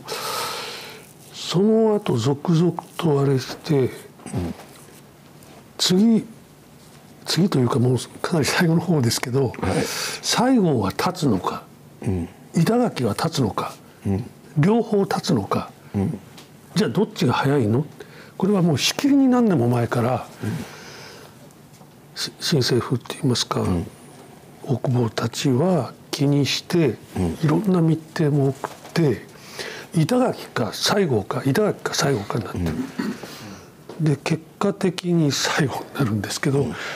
まあ、その結末を見て板垣は立たなかったということ。これが2点目ですね。それと先ほどの熊本攻めについてもこういう戦のいくつか、あるいは西南の駅と呼ばれる戦闘において最後はほとんど指揮を取っていません。えー戦略的に間違ってるんじゃないかと思う節もありまして田原坂をで迎え撃つあれは間違いですよね。まああるこれは軍事評論家と申し上げるんでしょうか、なぜ直接船で大阪城を狙わなかったのか。っていう基本的な初歩的な疑問があるという見方をされている方がいらっしゃいましたけどまあ田原坂であの狭いたかだか16キロ南北、あそこで迎え撃ったらそりゃ生き合い玉みたいな、鉄砲玉同士がぶつかるみたいなことになってしまう。それが4点目かと思うんですけどそしてアーネスト・佐藤たちの証言を私は気にしてまして、最後はほとんど担がれただけという、あの物理的にも開戦の西南の駅開戦の時には物理的にも自由は聞いてない。という説は無視できない。と思っていまして死亡者誰なんだっていう話になると桐野俊明しか考えられないんですね。どっちが死亡してるんだあの駅は。まあ主導はずっとやってましたね桐野が、ということですえね。ーあの戦い方とかねあれはですからまあ最後というのはある意味精神的な支柱にはなり得たそれといわゆる異界の面ポジション政治的なポジションでは桐野ではとても太刀打ちできないので、どうしてもシンボリックなそのつまりシンボルが必要、ですから担がれたと言ってもその従来言われてるような担がれ方ではなくて実際切るのは最後が必要だったと思いますね。それが第5点に挙げられると思うんですが私はそのあたりうんあの例えば省内から参加してる武家もたくさんいましたねて彼らがいろんなものを書いていたり、えーそして、えー実は会津からも行ってる人間がいます。で、えー先ほどおっしゃったあー後の民権の宮崎八郎のような方も参加しているありとあらゆる ジャンルからといいますか、そういう人たちがある意味最後にかけたというような参加の仕方をしています。これは多分それぞれの思いがあったと思いますので一つ二つを取り上げてだから最後はこれで立ったんだっていうふうな材料には使えないんではないかという気がしてまして西郷自身は私は非常に粘着質な人間だと思ってましてえなんなんの？粘着質。あ粘着さ西郷隆盛がですね大衆は、はい。あのうんなんて言うんでしょうね。これはまだでですから天璋院篤姫とは全く合わないこれが、まあ、江戸城無血会場の後々まで篤姫との仲というのは響いてくるんですけどかなり粘着した人間ですからちょっとああいう語られているような西南の駅で西郷がぶ武士道に準じてっていうようなことも考えにくいですし例えば、まあ、わ私はちょっとそのさっき禅の話したんですけど、はい。あの山岡鉄舟とね、はい。まあ、あのいわゆる江戸城の問題もそうなんですけど、勝海舟じゃなくて、山岡鉄舟を、あの命もいらず名もいらずとあの官位も金もいらぬ人は始末に困る人なりというねこの始末に困る人ならでは観難を共にし大業は成し遂げられるなりという、まあ、南州一君の中の言葉でこれをまああれ結構うちの会社のあれで使うんだけどもあのその相手の始末に困る人っていうのは山岡鉄舟でそうするとちょっとあの原さんのおっしゃってるその粘着質っていうのがねあの最後もずっと禅とかあれやってるんでね相通ずるものがあの私はあってねちょっとその辺のどういう意味での粘着質なのかなというちょっとうん面白いんでお聞きしたいんですけど。いやこれあの敵だと思ったらとことん憎みますからね、え？敵だと思ったらあるいはこいつは嫌いだと思ったらとことん彼は嫌いますから。あいやそれと確かにあの戊辰の駅でも江戸の、まあ、いわゆる、うん混乱を起こすあれでも結構あの綺麗なことじゃないですからねあれ実際は。いやあのちょっと次元の違う正確な話を申し訳なかったんですけど思い切り若い時からのあれを全部追ってみるともう粘着質としか思えないですね。うん。それは島津成明はかなり気にしていた節がありますね。まあ、成明がっていう存在がなければ西郷が世に出るってことはなかったわけですから、まあ最結果的に嫁入り自宅の手伝いまでした主の、まあ、一応義理の娘というか篤姫と最後までああいうふうに折り合えなかったっていうのは彼その点は同情しますけど。まあなんて言いますか。いやいやなかなか面白いあのイメージの違うね見方なんでいやあの裏付け的には私はこれに関しては、えアーネスト佐藤の証言、記録っていうのをはい。ちょっと評価してます。ああなるほどね。そうしますと主役は西郷ではない。西南の駅は西郷の駅ではないっていうことも考えざるを得なくなる。ああの私たち私なんかもおっしゃるようにね、あの担がれただけでねほとんどあの勝つ気がないというかねあのやる気がないっていうのは、まあ、江藤さんなんかも結構あのあの辺のとこをね調べてねあの、えーやってますけどさっき熊本城攻めもあの横からやればもう落ちたはずなのに絶対やってないっていうね正面からただやってるだけみたいなね。これ桐野のやり方もあるけども。あれせあそこしか攻め口ないですもん。あそこしか攻め口ないですよ。そうですか、ええ。まあ薩摩からあれは違う。じゃあまあ記述がねどうなのか分かりませんけどあのというようなこともあってね。あのまあ本当にあの政府に問いただした聞くことありというね形でやって、あの勝とうとかいうことを本当にあの状況あのいわゆる江戸ま江戸東京まで攻め上るみたいなね気気があったかっていうとかなり疑問じゃないかっていうのをね思ってるんですけどね。西郷自身はそれないでしょうし、もうその時彼は自由に行動できたのかっていうことになるとあの前線の兵の証言をいくつか取ってみても、最後を見た人間ってほとんどいないんですね。ですからやっぱりね姉と佐藤の証言等と付き合わせてみるとなるほど。これは桐野ってどうなんだっていうのは、考えてみる価値はあると思います。そうですね、、はい。やそれはもうあのさっきのしばし感じゃないですけども現実の人物像っていうのがね、あのただまああれはどうなんですか？その山岡鉄舟との通過の中っていうのは。あ山岡と最後の間で駿府ですでにあのあ江戸会場の話は、あのあそこで勝海舟とというふうにいいまあ麗しく昔から語られてきてますけど、あれはまあちょっとまあこっちからこっちで流しといた方がいいと思ってまして。あそうですか。あの駿府へ先に出かけていったのは確かに山岡でして、これが9日のことですから3月の、えーそこでほぼ話は決まってます、ですから、えー13日14日勝そして大久保一郎とやったとしても西郷は決定権がないものですからまたすぐ京都へ取って返して、わずか21日後ぐらいにまたとこっちへ、あの頃の西郷のフットワークの軽さってちょっと驚くんですね。いやあの本当にあのその西郷南州大井君というあのイメージととその前のいわゆるあの軍略家としてのねあれは全然イメージ違いますからね。そうですね。えー、100%違うぐらいね。あれですからあの、まあ、そこら辺は今おっしゃるのがね結構ねあの興味深いご指摘だなと思いますね。うん。駿府で山岡に会って取って返してすぐ岩倉たちに測ってっていうかまあむしろ彼は表現悪いですけど伝達役に過ぎなかったわけ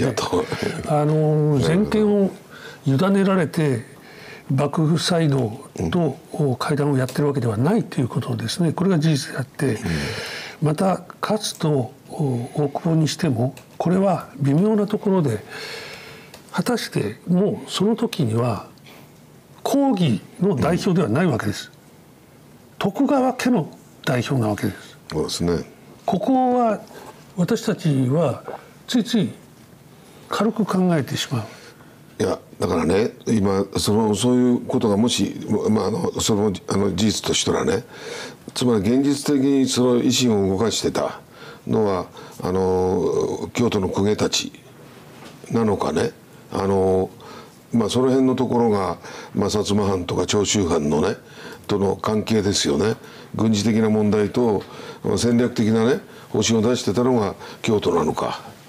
あの、まあ、公家というかね。あのこういうところもつまり一体この明治維新を推進してた実際にコントロールしてた人たちが大久保なのかねとかいろいろあるじゃないですか。そこが非常にねこうあの我々意外とまだ突き詰められてないというね。だからさっきちょっと鈴木さんが言ったねあのいない時にねバタバタっとやれちゃったっていうね。あそれからそういうことの齟齬が起きたというね。いうこともあそうかっていうね。気もちょっとしたんですけどね。ただ、まああの2年間確かに中央政府留守政府で最後は祭りやっぱり祭り上げられて、まああの時、まあ、一番伸び伸びとやったといえば、しゅん伊藤俊介であり、井上門太でありというところで、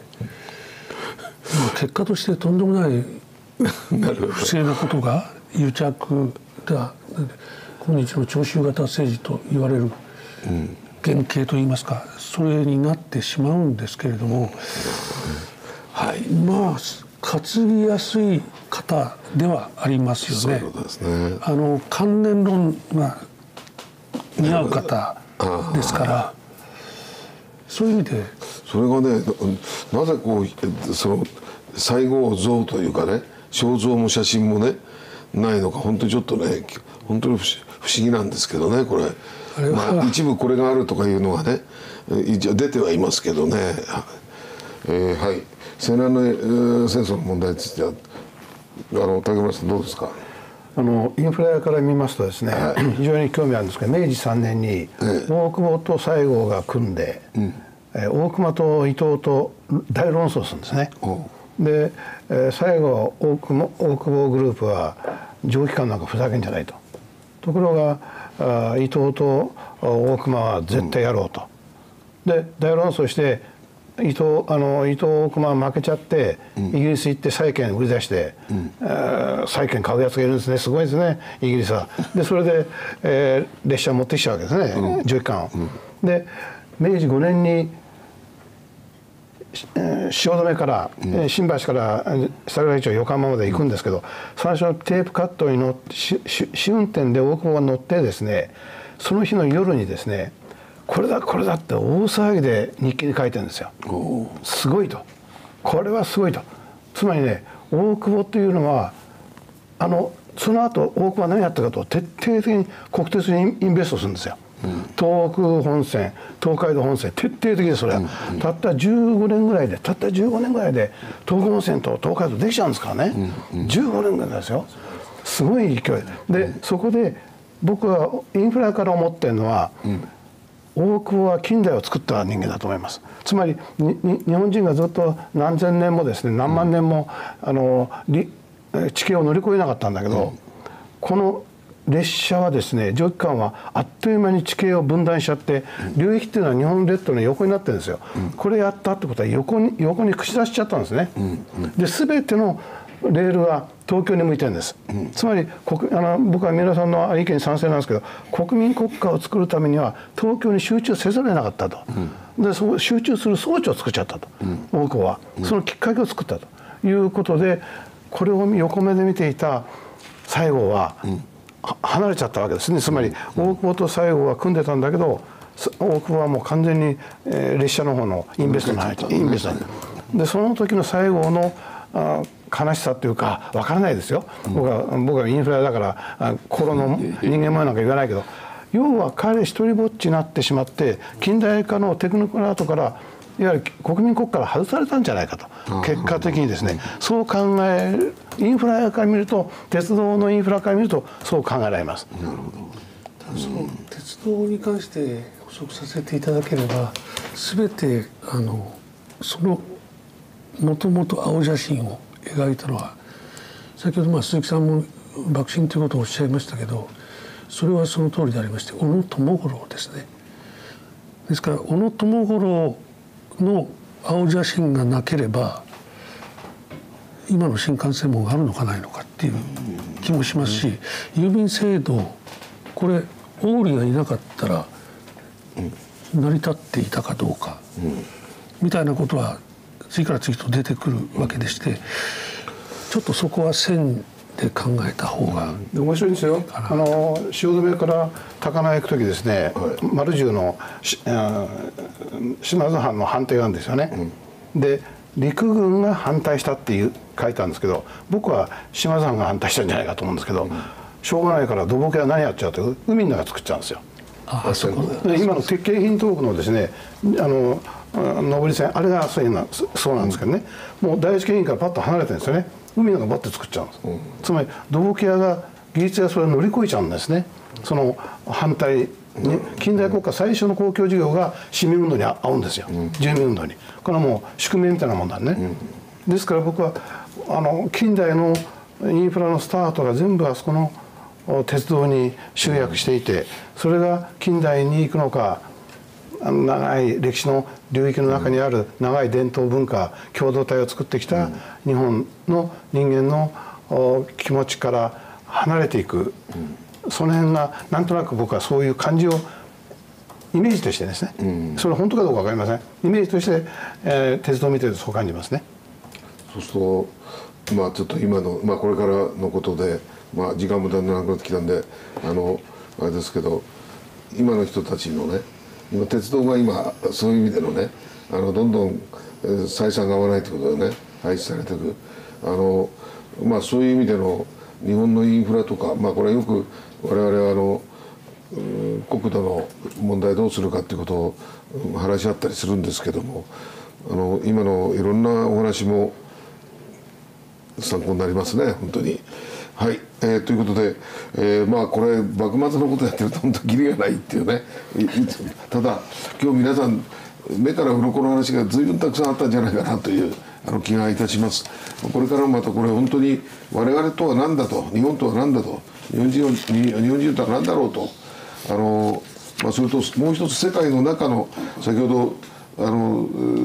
イギリスへ行ってね債券がやってね蒸気機関車持ってきたというねこういうの聞いた時あのこういう例えば英国との関係やいろんなものも含めてあの日本人が取ってきたあの明治の近代近代化というものこれあのもう一回本当に今我々が世界とどういうふうに関わるかっていう問題もやっぱり示唆してくれるところもあると思います。そういう意味であの今日は皆さんに一言ずつ最後にちょっと、えー明治から見る今のあ日本も感想を含めて一言ずついただいて終えたいと思います。じゃあ黒さんからじゃあちょっとお願いします。はいまあ一言ということなんで全部紹介できませんけれども今日ちょっとこれを用意してきましてですね、あの明治天皇が、はいい、あのいわゆる東京、まあ、都移しが東京と言われたわけですけれども東京天と、まあ、あの京都の人は違う意見かもしれませんけど 東京に都を移した時に移すという時に一番最初に何をしたかというと今の大宮の氷川神社にご神拝ご神祭ですね、はい。参拝するだけじゃなくて自らお祭りを装束をお召しになって執り行われた、でその時に、えー発せられたのがこのあの氷川神社直祭あ震災の御事の儀、まあ、通称再生地の御事の儀ですけども簡単にだけあの言いますとだから結局ですねあの、まあ、中世っていうこのこの頃から中世という言葉はあるんですけれども中世以降、まあ、大体鎌倉時代以降あのお祭り事がおろそかになってでそれに伴って政治が乱れたと、まあ、上級の変とか兼務中古に対するあの足利尊氏の反乱だとかのことを言ってると思うんですけどでそういうことがあるので、まあ、近代化という話はないここには書いてないんですが明治時代近代化するのが大事なことは当然当時皆さん分かってたと思うんですけどそれとともに、えーやっぱりあの祭祀をね取り戻そうということですよね。だから再生一の国だと。これ教科書だとねなんかイスラム教の国で再生一の国は遅れてる国だみたいな感じで抱えていることが今でも多いですけれどもそうじゃなくて再生中を取り戻すと。で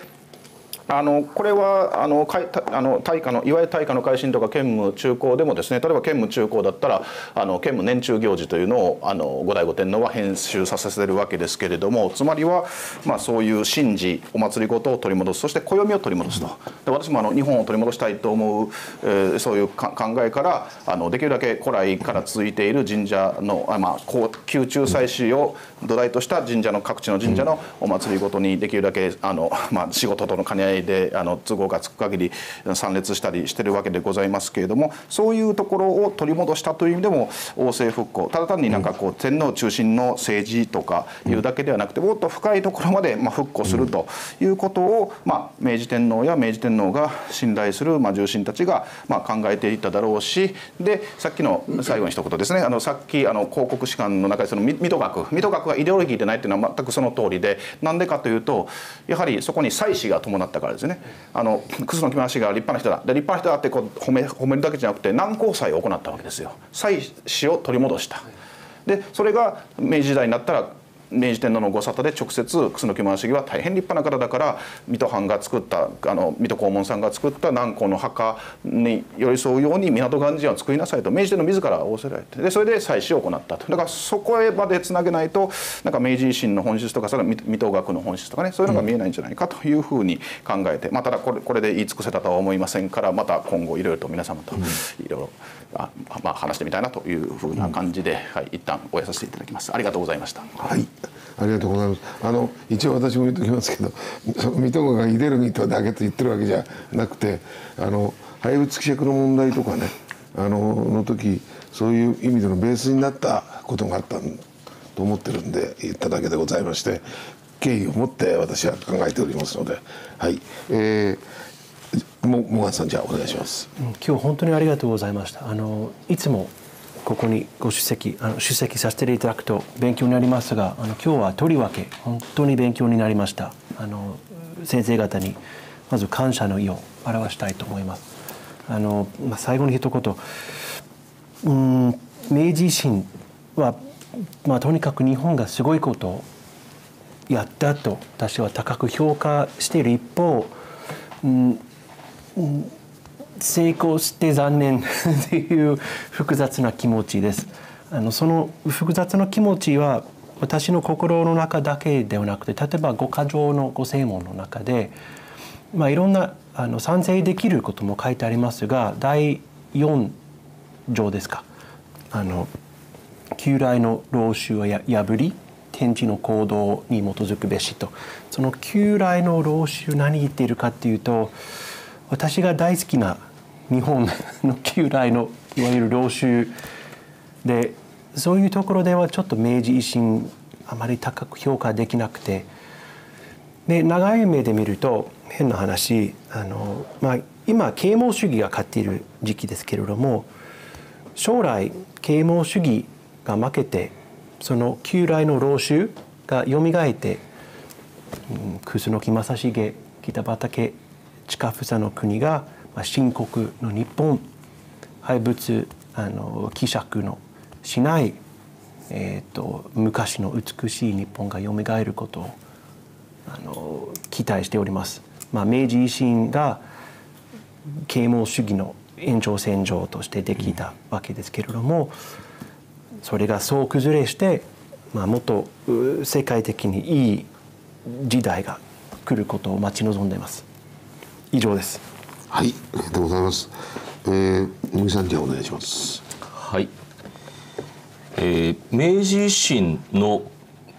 今日的意義というお話をいたします。うん、えー、っと結局当時はあのイギリスが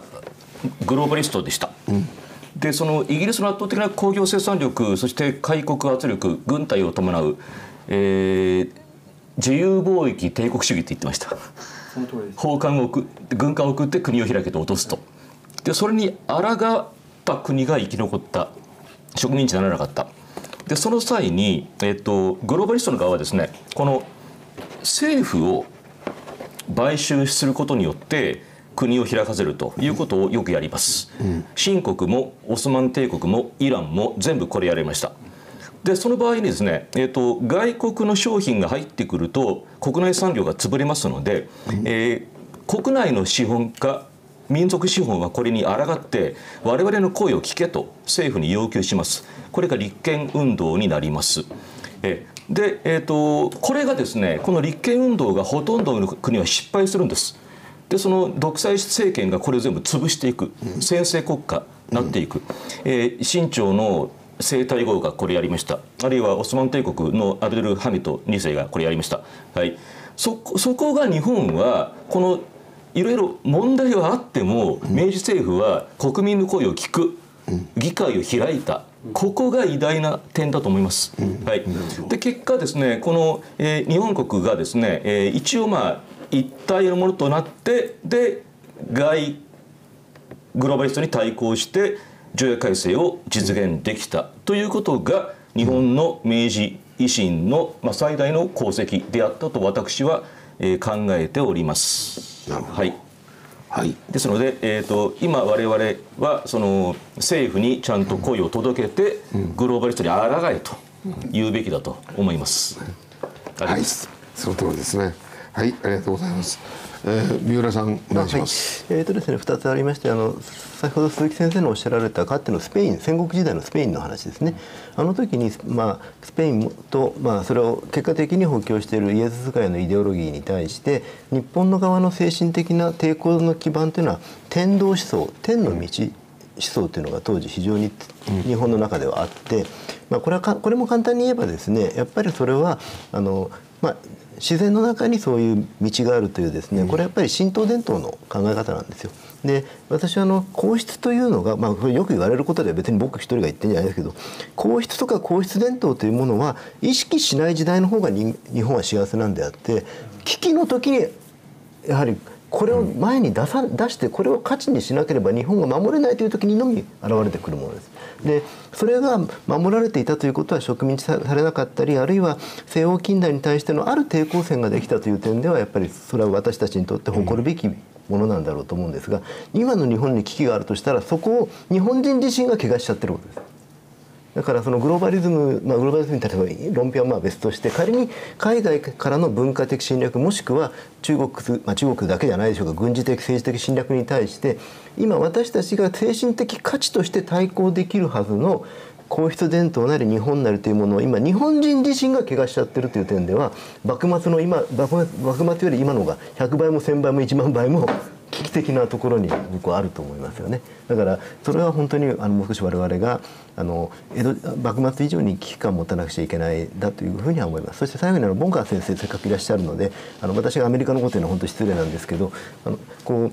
例えばもうアメリカには啓蒙主義の伝統もあればある種のアメリカのねあの最先端のその伝統もありますけど一方で南部ではあの極めて非常にあの南部の南北戦争の負けた側の価値観、まあ、ロスト構図っていうんですか、ロストあの失われた大義というものを、まあ、それは幻想でかもしれないけれどもそれはやっぱり人間にとって非常に大切なんだと。ある自分の土地の中で根付いて生きていくということが人間にとって最も幸せなんであって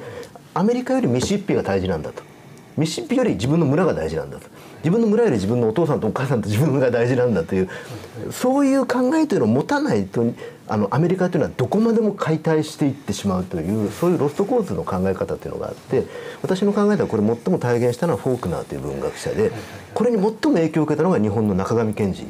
ですよね。だから私はそういうあのもう一つのそういうあのえー、近近代を否定するんじゃないですが近代がどんなに進んでも失ってはいけないものというのはアメリカだろうと日本だろうとフランスだろうとイギリスだろうとどの国にもあるものでそこはまた逆の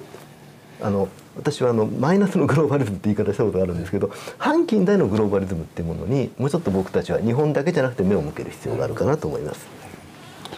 確かにそういうのはね今アメリカも日本もそういうような課題になってますよね。はいありがとうございます。えー、鈴木さんじゃあお願いします。えっとまあ、私あのあの明治維新というよりはその1年前の大政奉還をまあ高く評価しておりましてその大政奉還を行った場合の徳川慶喜の考え方は議題草案というレポートに書いてあってそれはその上院議員、まあ、これ貴族委員になったんですが250人下院議員これは衆議院議員になったけど500人この議会制度を作りたいいうことだったと思うんですね。でこれは明治二十何年だかにあの帝国議会がスタートしたと。その後大正時代になって政友会と民政党という2つの政党ができて交互に政権交代する状況ができたと。これはあのアメリカで言えば、まあ、あの共和党と民主党イギリスであれば労働党保守党というような形であってですねこれはあの本当の精神的な民主主義段階に到達したというふうにあの私はあの思っております。でこのことについてあの幕末のイギリスのアーネスト・サトという人が言ってるんですけども幕末のその日本人が考えているのはパーラメントというよりコングレスであるとこう評価してるんですね。まあパーラメントっていうのはイギリス型の議会コングレスっていうのはアメリカ型の議会 どう違うのか私よく分かりませんけどアムスト佐藤はそういうふうに言っておりまして日本がその二大政党による政権交代を考えてるんだと幕末の人はですねそういうふうに評価しております。まあ、このその大正時代の後これが実現していないのでですね私はできればこういう体制ができればいいなというふうに思っております。はいありがとうございます。コングレスは多分その各州の代表だと思います。ええ、だから今の上院ですねアメリカの。ああ、はい、そうか。だから各班のあれをしてって意味なんだね、はい。はい、その地域分権が成立した上での、そうです。そういう意味。あそういう意味ね、うん、はいはい、それとまあその上に立つ、まあ、大統領とねあの首相と、はい、我々の国は天皇ですけどもこの辺のところはやっぱりこういうところやってもうもうちょっと詰めてくれると面白いですね。そうですね。えー、はい、ありがとうございます。原さんじゃあお願いします。どうしても神道の話が出てくるのはまあやむを得ないと思うんですけど。これはあの多分私たちは頭の隅っこに置いておくだけでいいのかなっていう思いもあるんですけれども神道のことを語る時に一応あの正しいのか間違いなのかこれはもうご専門の方にお任せしたいんですがえー宗教というものの定義っていうのは国際的に歴史学の上では決まっていると、経典のないものを宗教とは言わないと。いう、これが定義かと思います。それをちょっと頭の隅っこに置いて竹内式部の勤労論以降の、うん。いわゆる神官たち、それも一緒になって起こした勤労論っていうものを考えたいと思ってまして、じゃあ何のために私たちはこの維新のことを幕末の 動乱のことをやってるのかっていう、まあ時々自分でも考えるんですけどやっぱり私はその明治維新と昭和維新っていう2つの維新を結びつけて考えないとやってる意義ってどこにあるのということすら思います。その昭和8年特にまあ日本が国連を脱退した年ですが同時に国定教科書が全面改定されたという年でもありここから昭和12年までの間のいわゆる昭和維新、これ明治維新と切り離して考えることはできないと考えてます。で そうやって線でつなぐっていうことの大切さ、まあこの昭和維新が直接私は大東亜戦争の原因、まあ私戦犯という言葉はあまり好きじゃないんですけど、もし大東亜戦争の戦犯誰だっていうことになれば、まあ、一応占領軍の方では7人が永久戦犯でっていうことで公主刑にしたわけですが、昭和8年から12年までの文部省およびその時の新聞メディア、これがひどいですよね。特に海軍士官が起こした515に対してどういうふうに民衆を扇動したかこれはこの法廷が公開されてますからその法廷記録は全てあるわけです。まあ、515がなければ226は起こりえない。ですからただ226の公判記録っていうものは一切公にはされていない、ですからもう少し515っていうのはみっちりし調べる必要がある。っていうこと被害者の数が違うからどうしても226になってしまい、うんね。また三島由紀夫さんの影響もあって、226は悲劇的なストーリーが出来上がるっていうことかと思うんですが昭和8年から12年にかけての文部大臣5人います。そのうちの一人は鳩山一郎さんです。これはみきゆきおさんにもぜひ考えていただきたいと思うぐらいなんですが、やはり強いて戦犯ということを人で挙げるとすれば私は昭和維新の昭和8年から12年のこの5人の文部大臣は紛れもなく戦犯、私たち自身の手でそれはちゃんと整理すべき問題だと思ってます。ですからそういう2つの維新をつなぐとなるとやはりあのそれぞれのプロの方専門家の方にお話伺うっていうのはもう今日がいい例なんですが、非常に自分のあれを強制できる機会ですから、まあ初めて参加させていただいてとても感謝しておりまして、いろいろ自分自身で強制する材料を頂戴したっていうことで皆さんに感謝申し上げたいと思います。ありがとうございます。いやありがとうございます。あもうその今言った昭和維新っていうね話とかもう一つは、まあ、もう一つはあと戦後の、あのまあ設計ですけど宮沢さんがこれ革命だと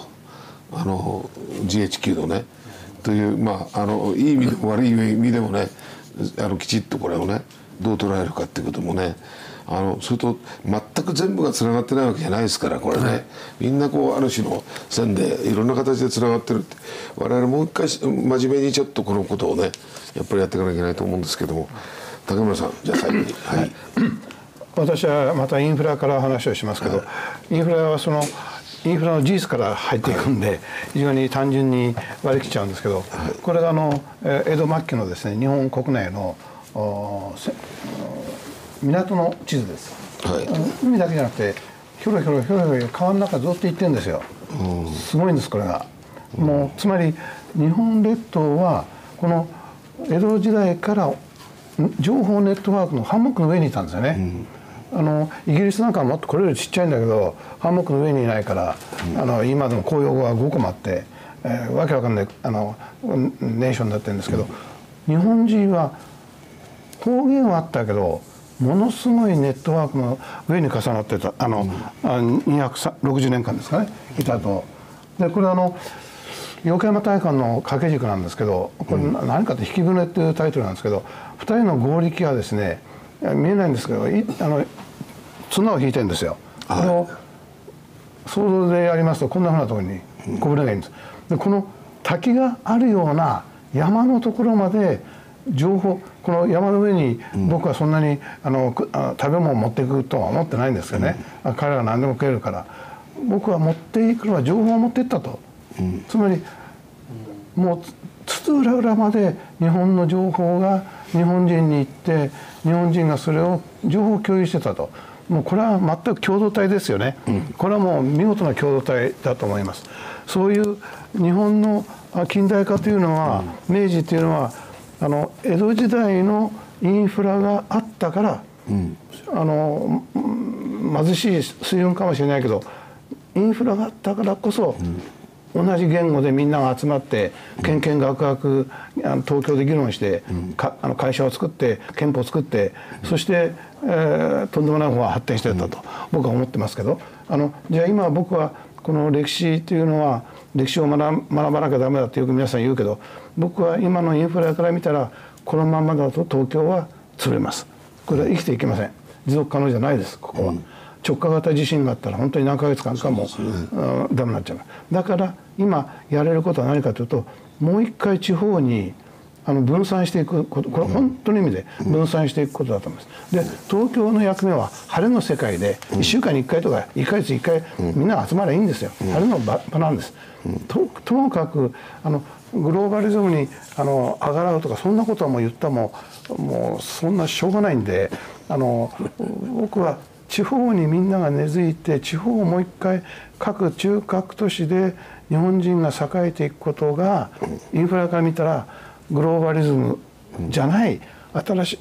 もう一回あの日本を再生できるのかなという思いをしてるんですけどね。まあ私の時代じゃないんでしょうけどあと50年後100年後あのエネルギーがなくなりますんでその時の話ですけどね分散型の国土にしないと持たないと。はい、ありがとうございます。えー、今日は、えー、幕末明治維新のを考えるということなんですけど、もう本当にくしくも、えー日本を考える、我々の生き方を考える。あのいろんな皆さんからあの示唆をいただいたんじゃないかなとえー思います。えーこういうような、えーねあの真面目な話、まあ、いやいつも真面目にやってるんですけど軍事や政治だけじゃなくてですねあのこういうこともねちょっと結構歴史はやっぱり面白いからねこれね。あのこういうことで本当に自分たちの越し方行く末を考えていくのはいいことじゃないかなと思うんでまたあの皆さんにも、えー懲りずにご出演いただくということでまたやってみたいと思います。今日はどうも皆さんありがとうございました。